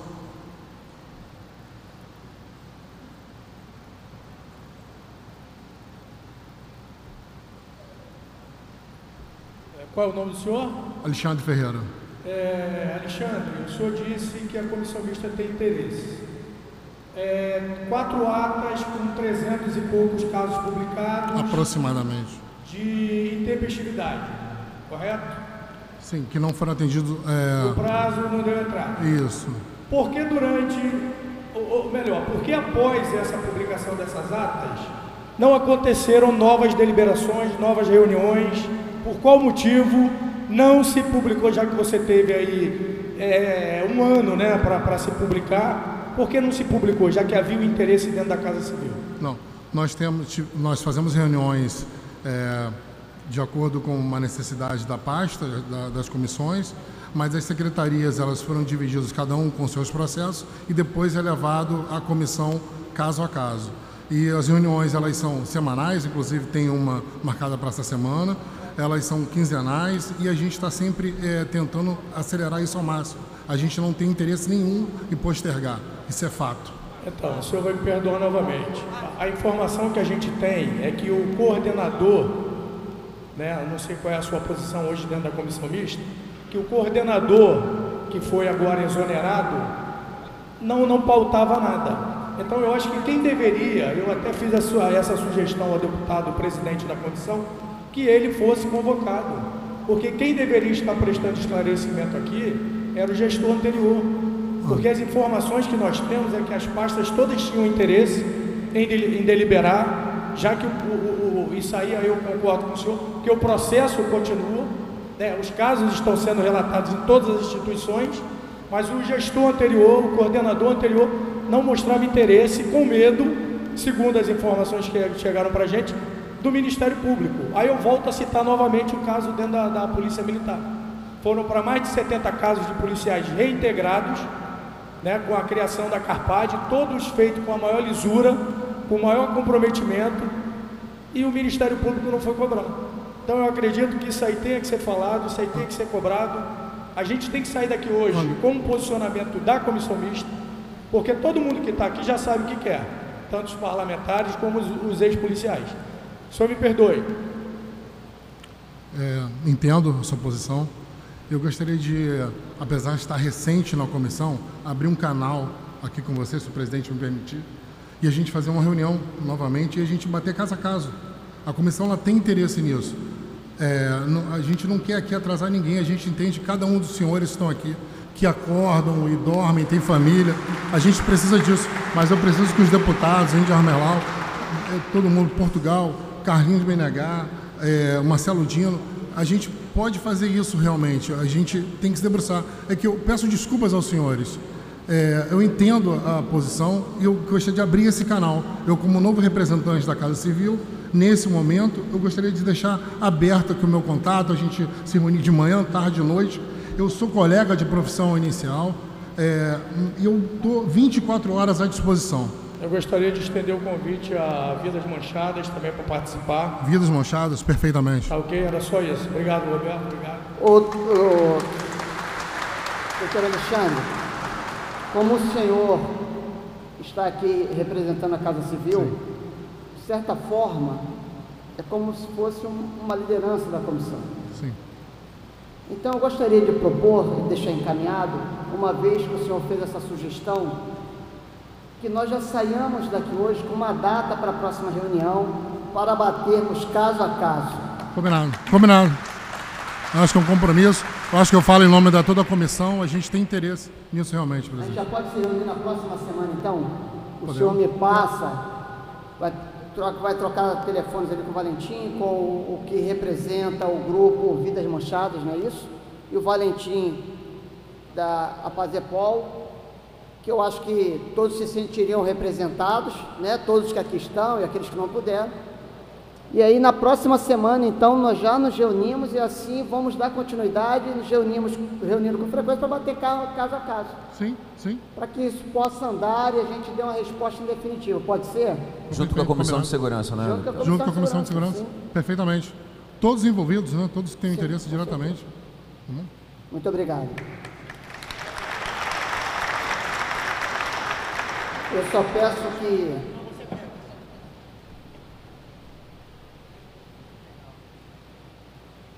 Boa tarde, doutor Antônio. só É. sobe um pouquinho. É, Sobe um pouquinho. É como o senhor falou aí, né? É, nós temos quatro atas publicadas, né? Dentro dessas quatro atas foi julho, agosto e setembro, né? De outubro para cá apareceram relatórios em diversos seis, né? E esses relatórios, o próprio, o interessado, nem o responsável, ele tem acesso, né? E eles não foram publicados como foram os outros publicados naquelas quatro atas. O pessoal aqui, a maior dúvida do pessoal de todos que estão aqui, de todo o grupo, os grupos de WhatsApp, é essa. Por que não saiu outra ata, né? E esse relatório, ele não é de conhecimento do interessado, né? Aparece lá no SEI dele, aí você clica, está com a chavezinha, mas você não tem acesso. Essa é a grande dúvida praticamente de todos aqui. É, como foi dito... Edson, meu nome. Desculpa, perdão. Edson. Bom dia. É, como já foi dito antes, é, nós fazemos reuniões, é, nem todas elas foram publicadas. A gente tem duas atas já para publicar, que a gente aguarda também algumas orientações, inclusive da PGE. É, e essa questão do relatório não estar aberto ainda, é exatamente por não estar decidido, eh, não ter essa decisão final. E aí a gente está aguardando algumas orientações. Tá ok, muito obrigado. E acho que era a dúvida de todos aqui. Tá, e a gente, eu renovo aqui, a, a gente está de portas abertas na Casa Civil, falo em nome do secretário e de toda a comissão, tá? E a gente está à disposição e vamos tocar para frente sem nenhum dia perder. É. Muito obrigado. Muito obrigado. Muito obrigado, senhor. Tá, por favor. Passa a palavra então para a doutora Josi Lima Leal Ribeiro.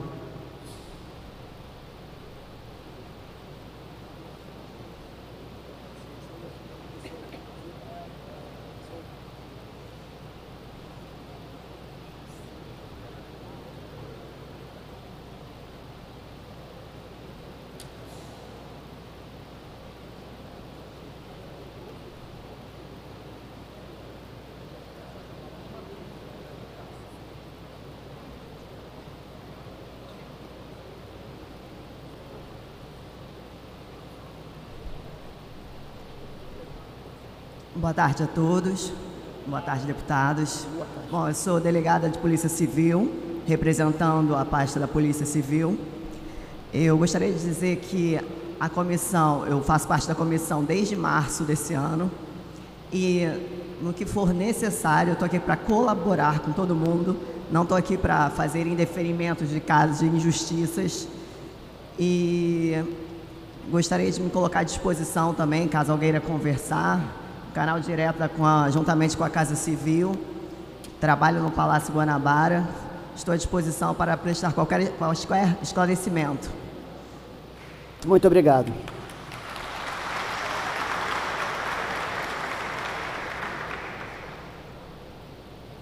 É, passo a palavra então para a senhora, o doutora Priscila Alves Carreira.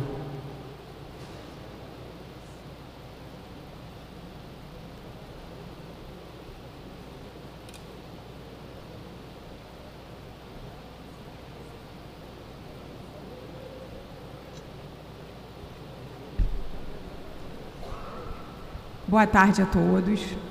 Meu nome é Priscila, eu sou membro da comissão desde o início que ela iniciou, né? você é prolixa, né? Desde o início mesmo, desde o nascimento da comissão.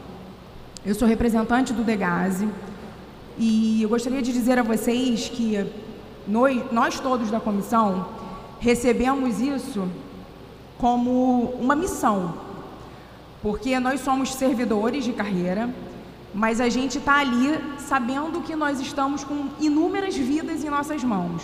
Então vocês podem ter certeza que nós temos plena consciência disso. Só que junto com essa missão vem a responsabilidade. E a gente tem analisado muitos casos assim, é, eu quero dizer também que a gente não esperava o número de processos, tá? Nós fomos também surpreendidos porque a gente acumula funções dentro dos nossos, das nossas secretarias, do nosso departamento. E nós fomos surpreendidos e a gente está tentando dar a maior celeridade possível, porém com responsabilidade, analisando porque tem casos minuciosos, né? Então, é, eu gostaria de dizer a vocês que nós estamos empenhados nisso, é, estamos fazendo a nossa parte, ao contrário do que às vezes possa parecer porque por conta da demora, eu sei que isso gera frustração, gera angústia, mas eu gostaria também que vocês se colocassem um pouquinho no nosso lugar. Que nós estamos fazendo isso com dedicação, só que a gente também está fazendo com cuidado. Sim. Tá? Então eu gostaria muito que vocês entendessem, porque nós entendemos o lado de cada um, deputado. Quando a gente julga cada processo, quando a gente montou a resolução, né, pensando nos requisitos de admissibilidade, tudo, a gente pensou em cada um. Mas eu gostaria só de trazer essa fala aqui, porque é, é, bem complicado, é uma situação bem delicada. Então eu entendo a posição dos senhores, enquanto legislativo, cobrar isso. Entendo a posição de quem espera uma decisão para dar continuidade à sua vida profissional. Mas eu peço que, na verdade, vocês compreendam o porquê né, de, desse atraso, porque realmente nós fomos surpreendidos com muitos processos e a gente precisa pautar, né? a gente já relatou é, mais de 300 processos, já foram relatados, e só que tem processos que são mais complexos, demandam uma análise que às vezes ultrapassa um dia de reunião. Então, eu gostaria só de trazer esses esclarecimentos para vocês, tá bom? É, eu sou do Degas e estou à disposição aqui também para quem quiser tirar dúvida. Eu tenho tirado bastante dúvida de quem, dos servidores do Degase, tanto eu quanto o meu suplente, que não está aqui. A gente fica lá com a porta da assessoria aberta, porque. Mas, e assim, para quem também não é do Degase, a gente está também à disposição, tá? Eu agradeço a todos aí a compreensão. Eu gostaria, antes de você, antes de você fazer uma parte, Valentim, eu iria propor ao doutor Antônio Alexandre de já para a próxima reunião, quando nós nos encontrarmos, que durante esse período de hoje até a próxima reunião, que veja, junto ao secretário Nicola, a possibilidade de que nós tenhamos um aumento de assessores para ajudá-los na revisão desse processo.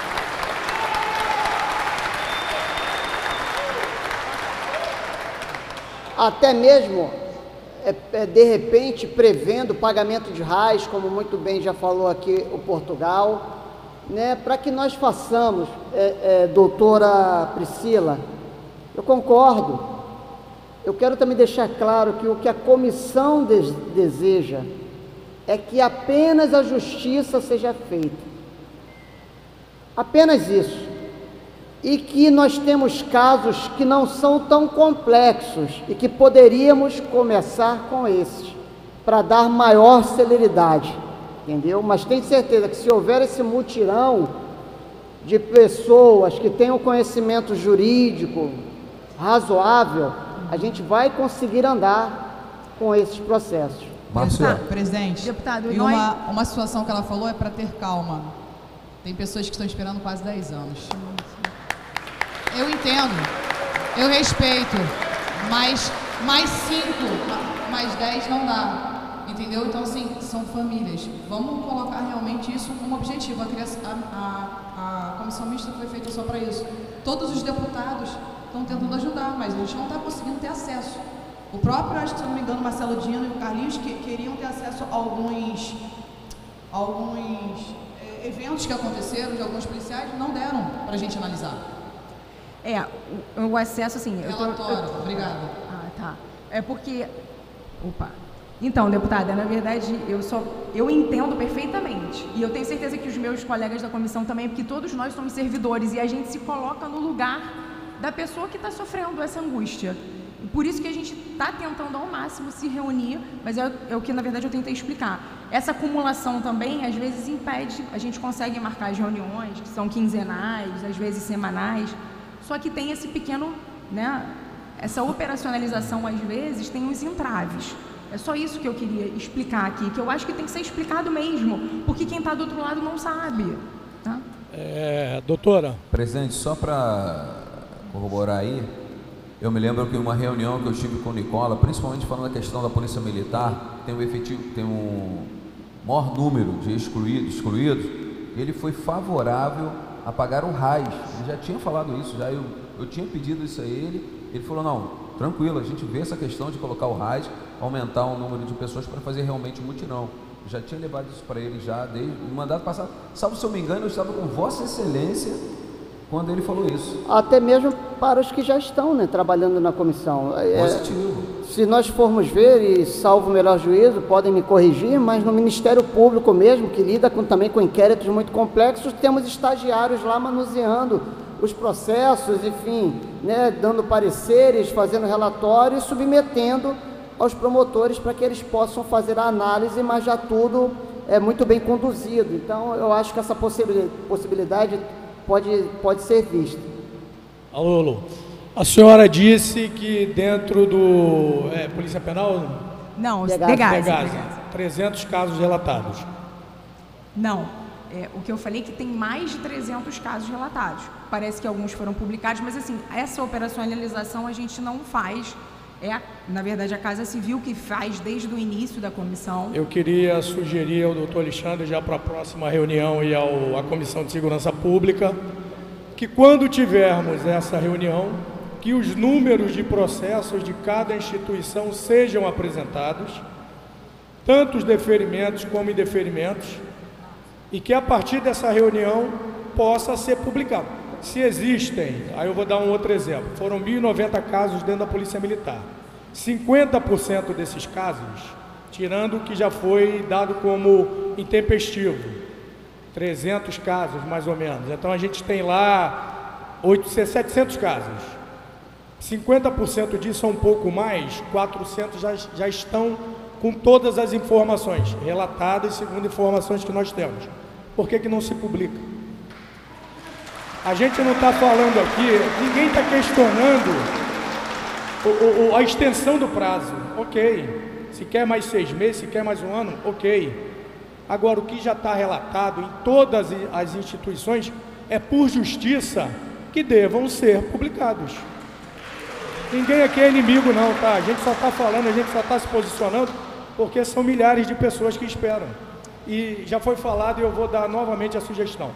Seis meses de prazo, por que, por que, que não abre uma nova tomada para aquelas pessoas que não conseguiram dar entrada? Só dentro da polícia são 3.040 policiais excluídos. Apenas 1.090 deram entrada. 2.117 absolvidos. Por que, que a gente não abre um, um- um- um- prazo para essas pessoas, já que vai ter a prorrogação, para que essas pessoas entrem? É só isso que a gente pede. Obrigado mais uma vez. Muito obrigado. Passo a palavra então para o Tenente Coronel Rodrigo Barbosa.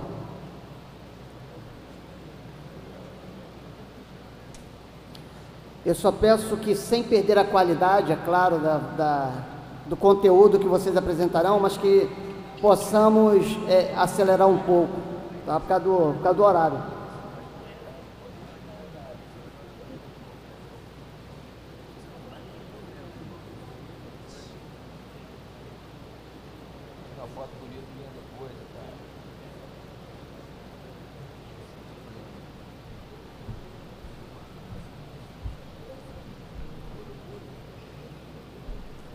É, boa tarde a todos. Boa tarde. Sou o Tenente Coronel Rodrigo Barbosa, é, membro suplente da, da comissão. Hoje eu estou em substituição a Tenente Coronel Sarita por motivo de força maior. Sim, preliminarmente eu queria destacar que, por parte da Polícia Militar, a análise dos processos dessa comissão sim, seguem rigorosamente os termos da resolução conjunta, todos os requisitos de forma integral. Então eu vou me ater no momento só prestar só um, um, fazer um breve relatório do que já foi produzido e o que ainda falta ser produzido por parte da Polícia Militar.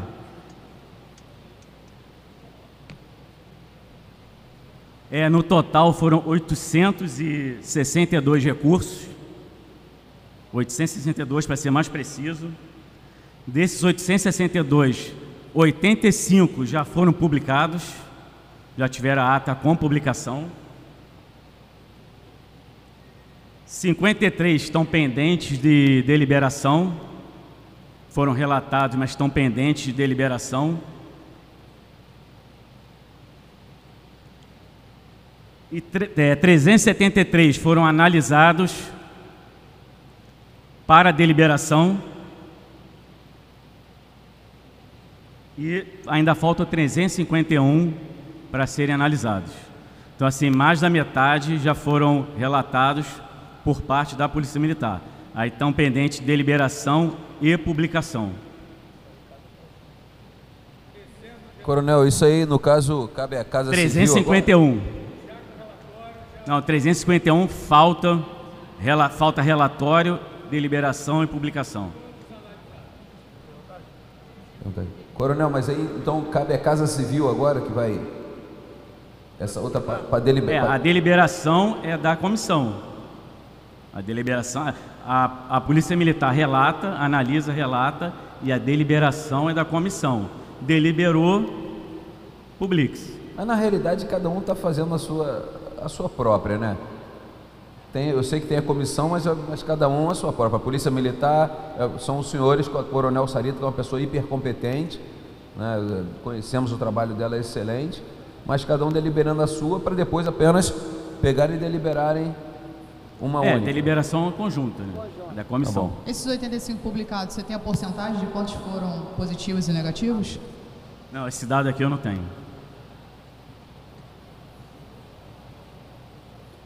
Vai fazer uma pergunta? Por favor, só peço que não se estenda. É, coronel.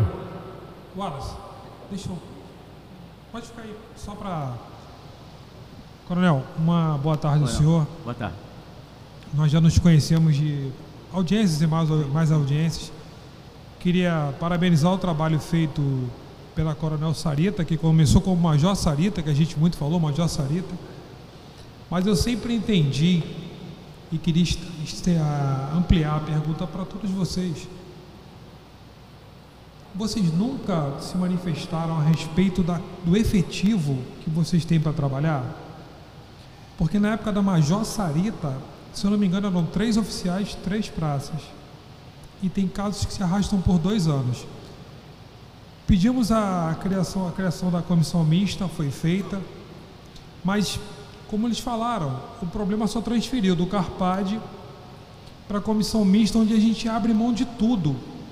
Isso para o Estado é muito vantajoso, que vai ter um profissional trabalhando novamente, custo zero do que ficou para trás, nem promoção ele tem direito, não tem nada. Se ele saiu soldado e tem 50 anos, vai voltar com soldado.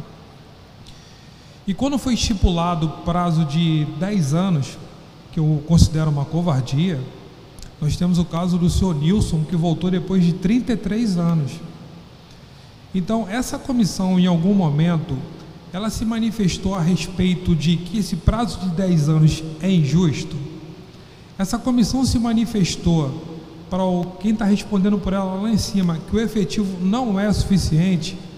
O que a colega informou ali, que acumula função e que, pelo que eu entendi, não estou desmerecendo o trabalho dela, porque ela tem que cumprir o trabalho dela em outro local também. Parece que é tipo, eu também estou na comissão mista hoje, caramba, putz, não tem como. Eu acho que deveria ser um trabalho exclusivo que não pare. Como eu falei, eu, eu, eu trabalhava com o Marcelo Dino, o deputado Marcelo Dino, e o Marcelo sempre falou isso de pagar o RAIS. Então é, é uma aqui, é um, porque se todos ganham, todos perdem. E pessoas que estão ali estão desempregadas, estão se virando depois de tudo que começou. Então, eu só queria saber se a gente pode realmente criar hoje aqui, como o Márcio pediu, uma próxima reunião emergencial, mas que a gente apresente realmente números suficientes ou insuficientes, uma forma de gratificar esse colega que vai trabalhar a mais porque é interessante que tenham turnos sem parar. Porque a gente não cria um trabalho de 24 horas? A gente pode botar três turnos de oito, mas sem parar, porque tem colegas que não vão ter tempo nem de ver. E eu espero que a gente possa rever até o próprio decreto para, como o Valentim falou, que novos colegas entrem, porque nós somos uma fábrica de exclusão, porque só vai para a rua quem trabalha. Se estão sentados ali porque trabalharam. Então, se a gente puder ver isso aí, de tornar abrir o prazo, e a comissão mista fase 1, já abrir numa fase 2, porque já tem colegas na rua novamente, e que a gente possa discutir a ampliação de prazo. Eu queria ver se a gente pode chegar a esse denominador para justamente a gente não parar, que a gente tenha um turno de 24 horas, mas não que sobrecarregue vocês. Pelo que eu estou entendendo, vocês estão acumulando função.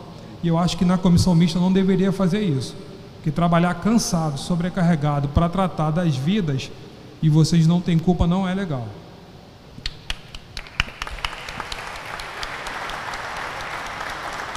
Coronel Barbosa, é, a Lei 5427 é a lei que regulamenta todos os processos no âmbito do Estado.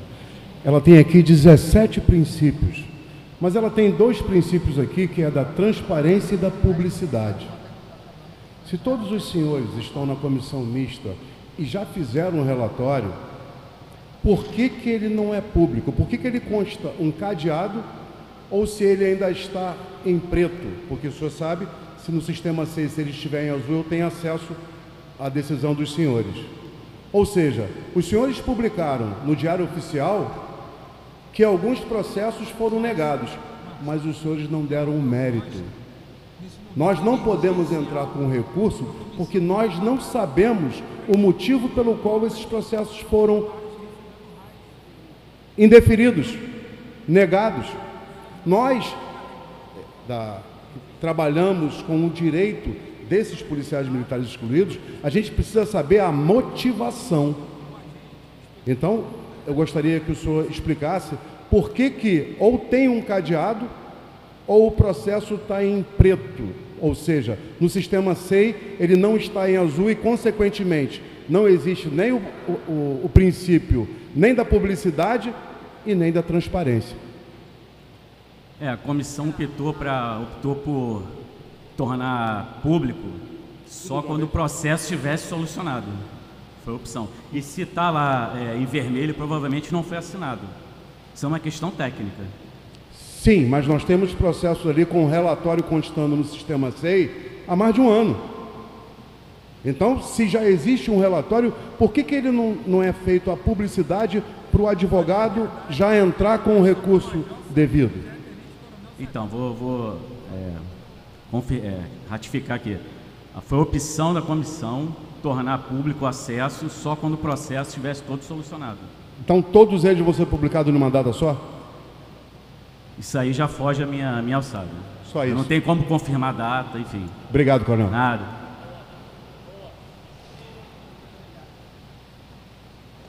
Muito obrigado, Tenente Coronel Barbosa.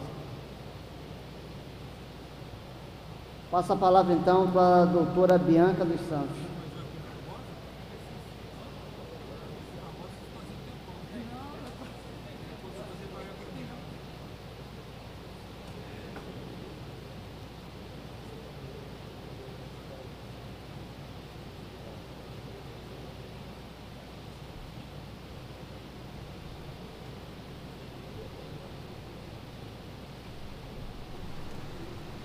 Boa tarde a todos.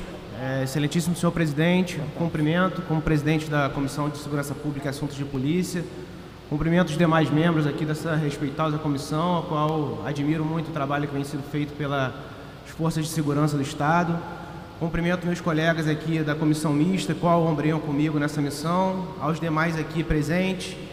É, presidente, estivemos ano passado juntos é, numa audiência pública é, onde foi elaborados os termos né, dos requisitos que seriam necessários para a admissibilidade desses procedimentos, onde, como muito bem colocado pelo Dr. André Alves, foram requisitos é, estritos para que não trouxessem as cadeiras das nossas instituições servidores que tinham maculado a história de cada pasta.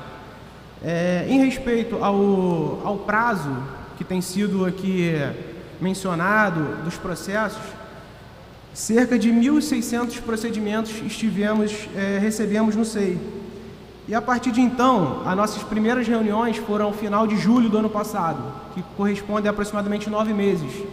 Se pegarmos esses processos, que são cerca de 508 processos já deliberados em ata, e dividimos, dá cerca de 50 processos por mês. Somos dois membros por pasta para analisar a fundo esses procedimentos. Então isso requer um cuidado é, muito grande por nós membros que estamos analisando esses procedimentos em loco, né? Ao qual não, não, não fomos dispensados das nossas atividades corriqueiras de cada pasta. É, presentes na comissão mista temos autoridades ali que trabalham eventualmente para o funcionamento da pasta.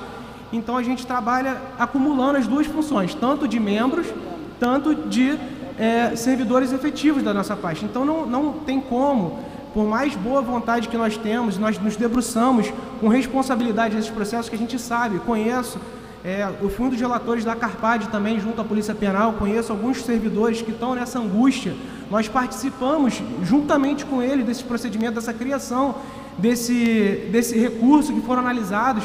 Inclusive, na, na própria Polícia Penal, nós já tivemos esse, esse, esses recursos analisados, mas a gente demanda de, da parte burocrática e legal desses procedimentos. Então, não é uma simples análise você trabalhar num processo, num requerimento, para trazer as cadeiras novamente servidores que têm ali o direito, é, que possam ter tido vícios no seu processo administrativo disciplinar, é, numa simples análise de um relator. Porque o relator ele vai precisar desconstituir todo aquele processo administrativo que foi feito por uma comissão processante. Existe a questão judicial desses processos a serem analisados, existem as, a, os recursos através da justiça, da justiça que já transitaram em julgado, então a gente não pode é, aqui simplesmente é, quebrar a, a coisa julgada material, porque administrativamente a gente fica um pouco impedido é, nesses quesitos. Eu trouxe também aqui é, o que foi falado também sobre o, o, o procedimento. É, muito se questionou ali o Valentim sobre o, a publicação, por que, que alguns relatórios ainda não foram publicados. Temos ainda o, nas reuniões, para se ter ideia, quando a gente faz a reunião de, ou semanalmente ou de 15 15 dias, é trazido o relatório à comissão, ela é delibera sobre esses relatórios, é feita a votação pelos membros da comissão sobre o relatório expositivo, então a gente não consegue num dia, em 24 horas, seja no período de funcionamento da comissão ali, da nossa reunião, deliberar inúmeros processos, seja ele para para aprovação ou para indeferimento, porque a gente precisa adentrar o mérito desses processos, a gente precisa ver a questão legal desse processo para poder, para poder de fato ele colocar ele em pauta para votação. Qual foi, Gualberto? Qual? Alô, alô. Senhor falou que de, de tempos em tempos, de prazos em prazos, tem reuniões. Sim, certo. Qual foi o, a última reunião da comissão mista? Qual foi o dia o mês que vocês deliberaram a última leva de processos? Salvo engano, foi na última quinzena de março. As A informações. última, a última reunião. Entretanto, tivemos mudanças no colegiado da comissão, como já o doutor Alexandre mencionou. Então, a gente precisa, quando tem essas mudanças, aguardar as próximas deliberações para que saber como é que os trabalhos vão ser feitos. Então, a última reunião foi por conta da mudança do certo. coordenador. Certo. Antes, qual foi a, a- a- antes dessa, dessa reunião que teve a mudança? Agora, não vou me ter, ter de cabeça aqui o- a data exata, mas a última eu sei que foi em março. Então, em março. Aí deixa eu te trazer uma informação. Não estavam acontecendo reuniões porque o coordenador anterior não estava propondo que essas pautas fossem deliberadas. E essas informações a gente tem chegam até nossos ouvidos de pessoas que estão próximas da comissão mista. É, volto a falar, aqui a gente não está fazendo caça-bruxa. A gente aqui não é inimigo da Polícia Penal, da- pelo contrário. A gente só quer que a partir de, dessa nova gestão do doutor Alexandre, que tenham celeridade. Volto a falar, a gente não está preocupado com extensão de prazo. Nós só queremos que o que já foi relatado, do que o que já se tem em mão, se publique, porque aí você dá esperança para quem já está esperando e para quem ficou de, de para a próxima daqui a seis meses. É só isso. Eu não estou aqui para te desmentir, eu não estou aqui para bater de frente com você. Só que a gente tem essas informações. Ficaram meses sem relatar nada. Meses, meses sem relatar nada. Essa reunião de troca de, de gestor se deu porque o outro não estava fazendo nada. Só isso, irmão. Tá beleza? Tiago, só fazer uma, uma pergunta. Quantos casos tem a Polícia Penal? Eu ia pedir isso agora. Eu ia pedir isso agora. Deputado, nós tivemos cerca de 62 registros pela Polícia Penal. Então, e analisados, já tivemos 28 processos eh, analisados pela Polícia Penal publicados em ata. Eu, eu tenho certeza, o, o Alexandre, né, doutor Alexandre? Eu tenho certeza que cada pasta são competentes para poder fazer isso tudo. Porque você, você imagina, deles são poucos, mas da Polícia Militar é absurdo. E a Coronel Sarita é de uma competência fora do normal. Então, se você for ver cada caso e depois ter que submeter a comissão, com muito respeito, eu acho que isso aí vai atrasar cada dia mais. E a gente não vai conseguir levar uma solução para os nossos companheiros. É, Tiago, né? Sim, sim. Eu posso te pedir um favor para você encaminhar para a comissão os processos dos dois últimos anos das exclusões? Você consegue, por favor? Os que, da- da- que estão na comissão? Isso, por favor, não, encaminhar para a comissão mista aqui da Sim. LERJ os dois últimos anos das exclusões que ocorreram. Tá. Que a gente está recebendo uma demanda grande de perseguição. Tá, e aí a gente preciso- quer analisar preciso isso. avaliar só com o gestor para solicitar esses dados que eu não tenho em mãos agora para a gente viabilizar essa, esse, esse envio desses documentos. Tá. Você falou que analisaram 28, confere? Certo. Você tem alguma também é, estatística de pontos positivos e pontos negativos? Então, desses 28, tivemos somente indeferimentos, não conhecimento e intempestividade.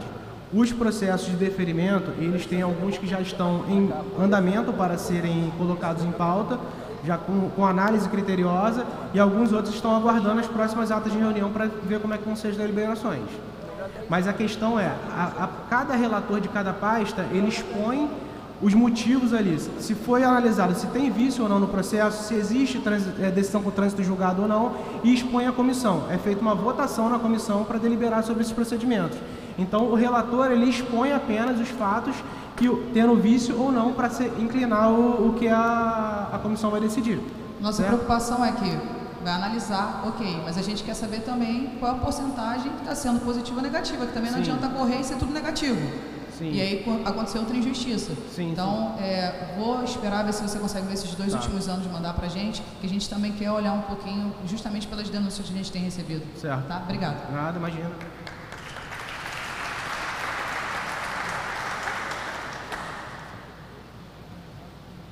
Muito obrigado, doutor Tiago.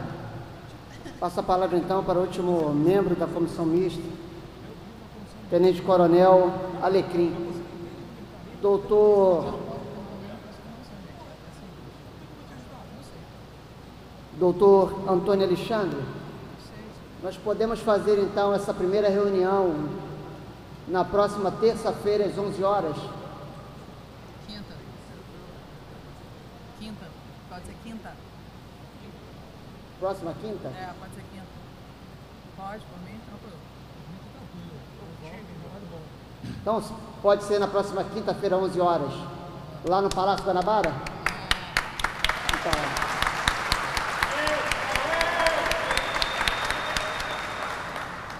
muito obrigado, hein? Pois não, pode continuar, doutor. Tenente Coronel. Inicialmente, uma boa tarde, saúdo a todos os presentes, em nome do excelentíssimo senhor deputado Márcio Gualberto, presidente da, da mesa.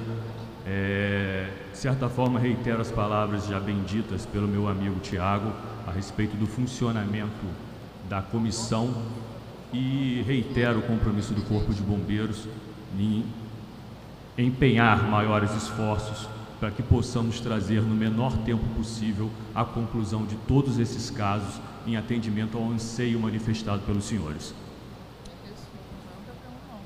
Muito obrigado. E o bombeiro, Eu que agradeço. O bombeiro tem.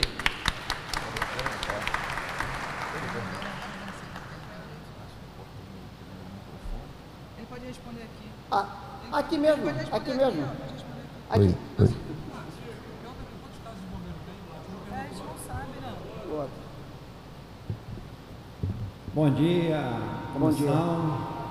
Sou o Cabo Noncimar, estou vereador na cidade de Campos, Goitacazes. né?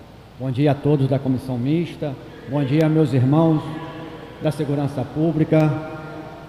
É, Hoje na Corpo Bombeiro tem quantos excluídos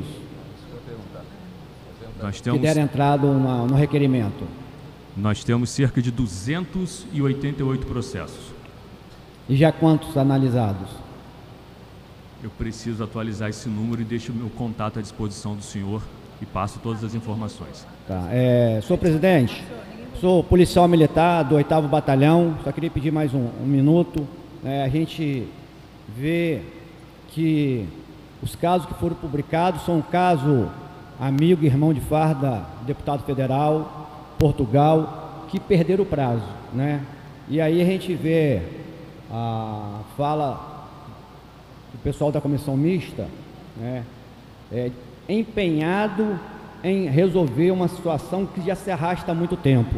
Eu não estava vereador, estou deputado Marcelo Dino no segundo mandato e Vossa Excelência no mandato passado, junto com o deputado Márcio Galberto, abraçou essa causa no dia que o meu irmão de farda, que é perseguido, e um maluco, né, que ele é policial da ativa, Sargento Valentim, não pôde estar presente nessa casa. E o, Alas representou ele, eu estava aqui, não estava vereador. Então a gente vê, deputada Índia, que esse, essa questão, essa pauta já se arrasta há muito tempo. Acontece na Polícia Militar é, um conselho administrativo onde o policial ele ganha de 3 a 0 no conselho com parecer favorável do comandante geral do comandante da unidade e depois é excluído pela corporação. Quem não conhece um caso desse, Sargento Portugal?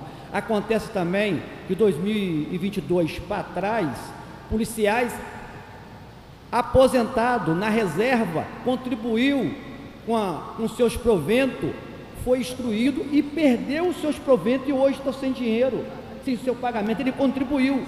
A aposentadoria, é, Tenente Coronel, é uma poupança que faz para o trabalhador. E aí, Tenente Coronel Barbosa, o senhor sabe que acontece isso na polícia antes de 2022? Vários policiais militares aposentados que contribuíram 30 anos foram instruídos e perderam o seu provento, que tinha que tirar a sua carteira, a sua condição de polícia militar, mas não os seus proventos. Então, são vários fatos aqui que deixam a gente angustiado. Eu estou nativa, mas fui perseguido, fui preso em Bangu 1 naquela greve de 2012 e hoje só não estou instruído porque estou no segundo mandato de vereador. Então, o policial da ativa hoje, o profissional da segurança pública da ativa hoje, poderá ser o policial excluído da manhã. Muito obrigado. Muito obrigado, Tenente Coronel.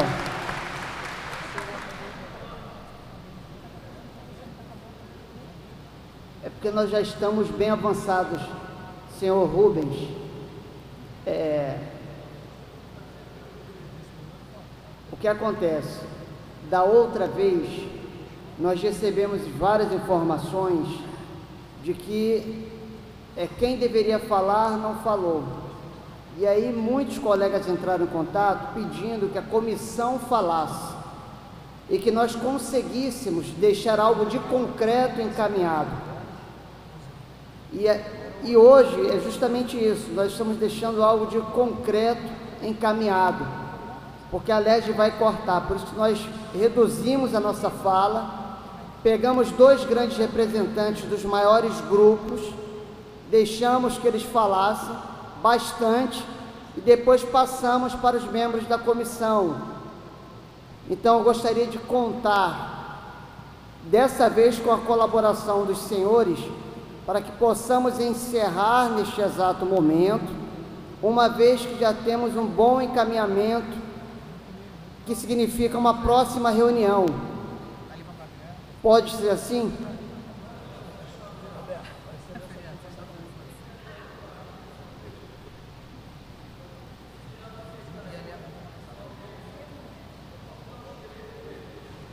Então,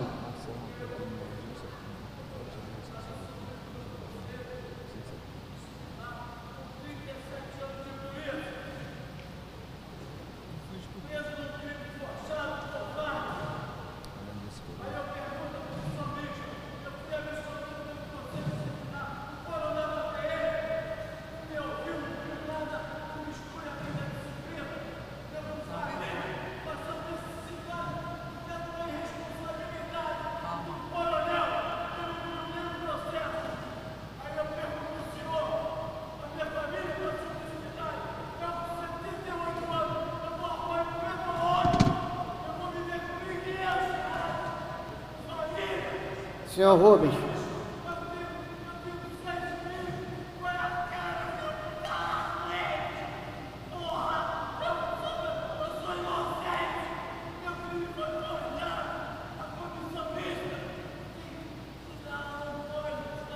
Senhor Rubens, eu só pediria para o senhor ter cuidado para o senhor não passar mal de repente, é a minha preocupação primeira nesse momento. E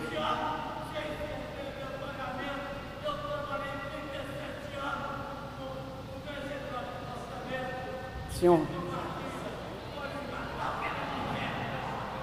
Senhor Rubens, senhor Rubens, senhor Rubens, o caso do senhor, o caso do senhor é um dos mais emblemáticos que nós tivemos conhecimento.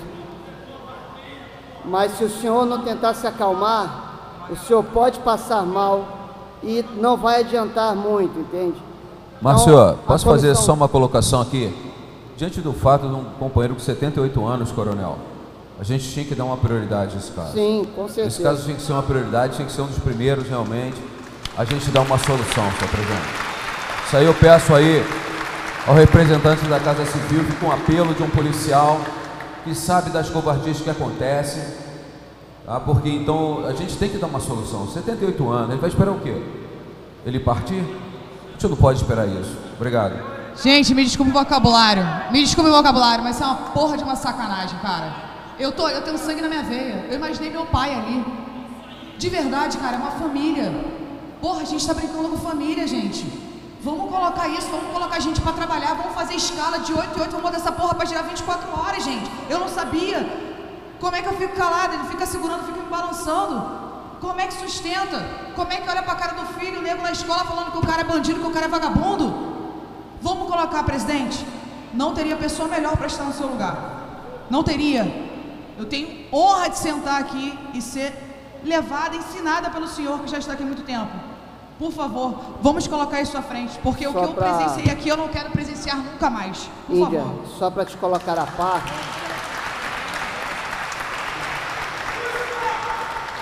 E eu concordo, mas nós já oficiamos a Polícia Militar sobre o caso do senhor Rubens. Perfeito. Pedindo prioridade.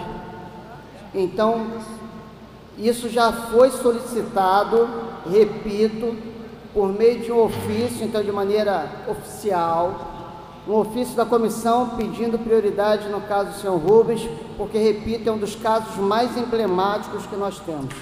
Doutor Antônio, então, posso pedir isso? Respeitando o nosso presidente, mas posso pedir, o senhor que já está tá aqui hoje representando a Casa Civil, uma prioridade no caso do nosso companheiro, 37 anos, 78 anos. Pode ser? Obrigado.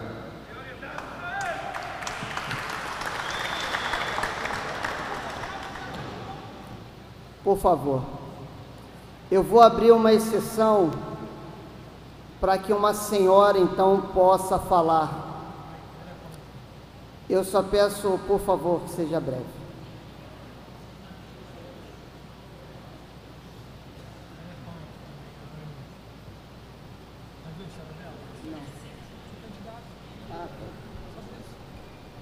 Boa tarde, presidente, os nobres deputados.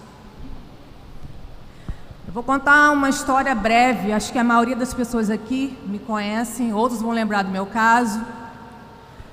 Eu, meu, meu caso é um misto de raiva com vergonha. Eu fui excluída, acho que minha exclusão começou quando a assessoria de imprensa da polícia queria uma policial que cantasse.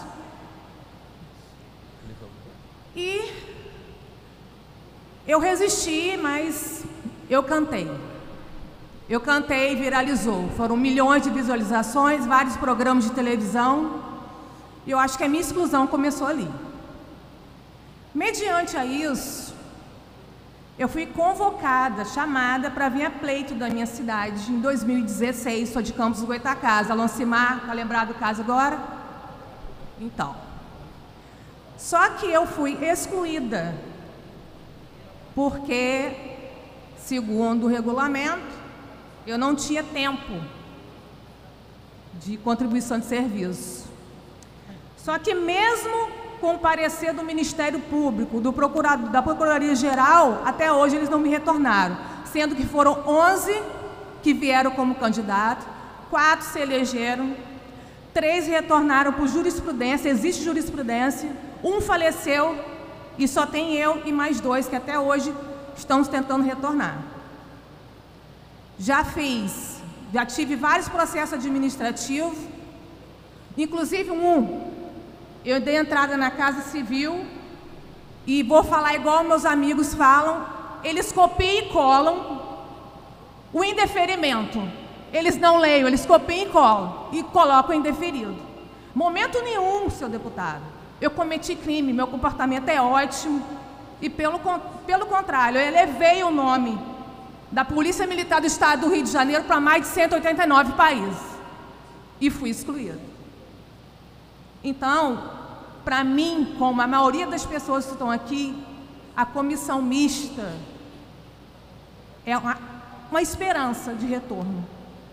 Porque foi muito injusto comigo, eu saí estampada no Jornal Extra como policial expulsa isso saiu do QG no sábado, eu não tive nem como responder, porque a eleição foi no domingo. E na segunda-feira estava uma viatura no meu portão, de hora em hora, como se eu fosse uma criminosa. Uma criminosa. E meus pais idosos. Eu estou quase seis anos tentando retornar. Só Deus sabe como que a gente que não está tá sem trabalho, como que a gente, a família da gente sofre junto. Então eu queria pedir para o senhor, porque o meu caso não é complexo. O meu caso, para mim, é banal. Assim como o meu caso da Fernanda e do outro amigo ali. Então, desde já agradeço. Eu vim de Campos, peguei o ônibus duas horas da manhã, mas eu não poderia deixar de estar aqui, porque para mim é uma oportunidade única de poder estar esclarecendo isso e pedindo a ajuda dos nobres deputados. Obrigada, gente.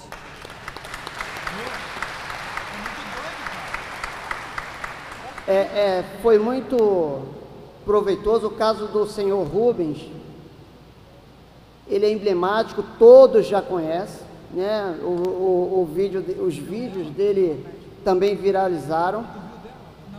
Porque às vezes nós falamos assim, olha, nós estamos aqui para fazer justiça, justiça, e quem está nos acompanhando ao vivo e está assistindo essa audiência, ele fica é, voando um pouco, né?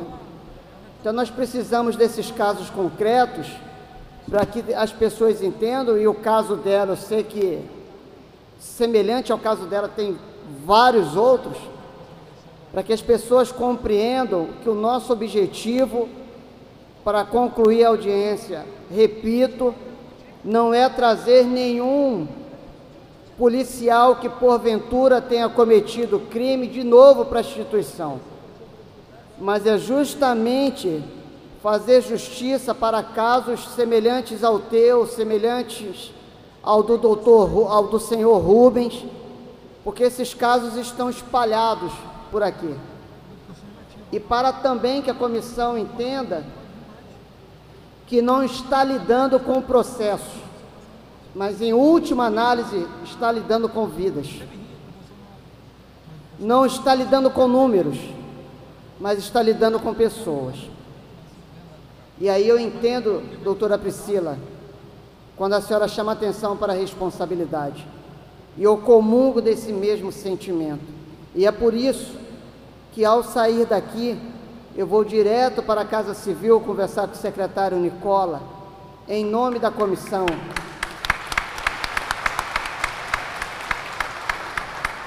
Porque tem uma reunião com ele às 14 horas, para que ele aumente, para que ele possibilite que vocês se dediquem exclusivamente a esses temas e recebam por isso porque esses processos requerem dedicação exclusiva.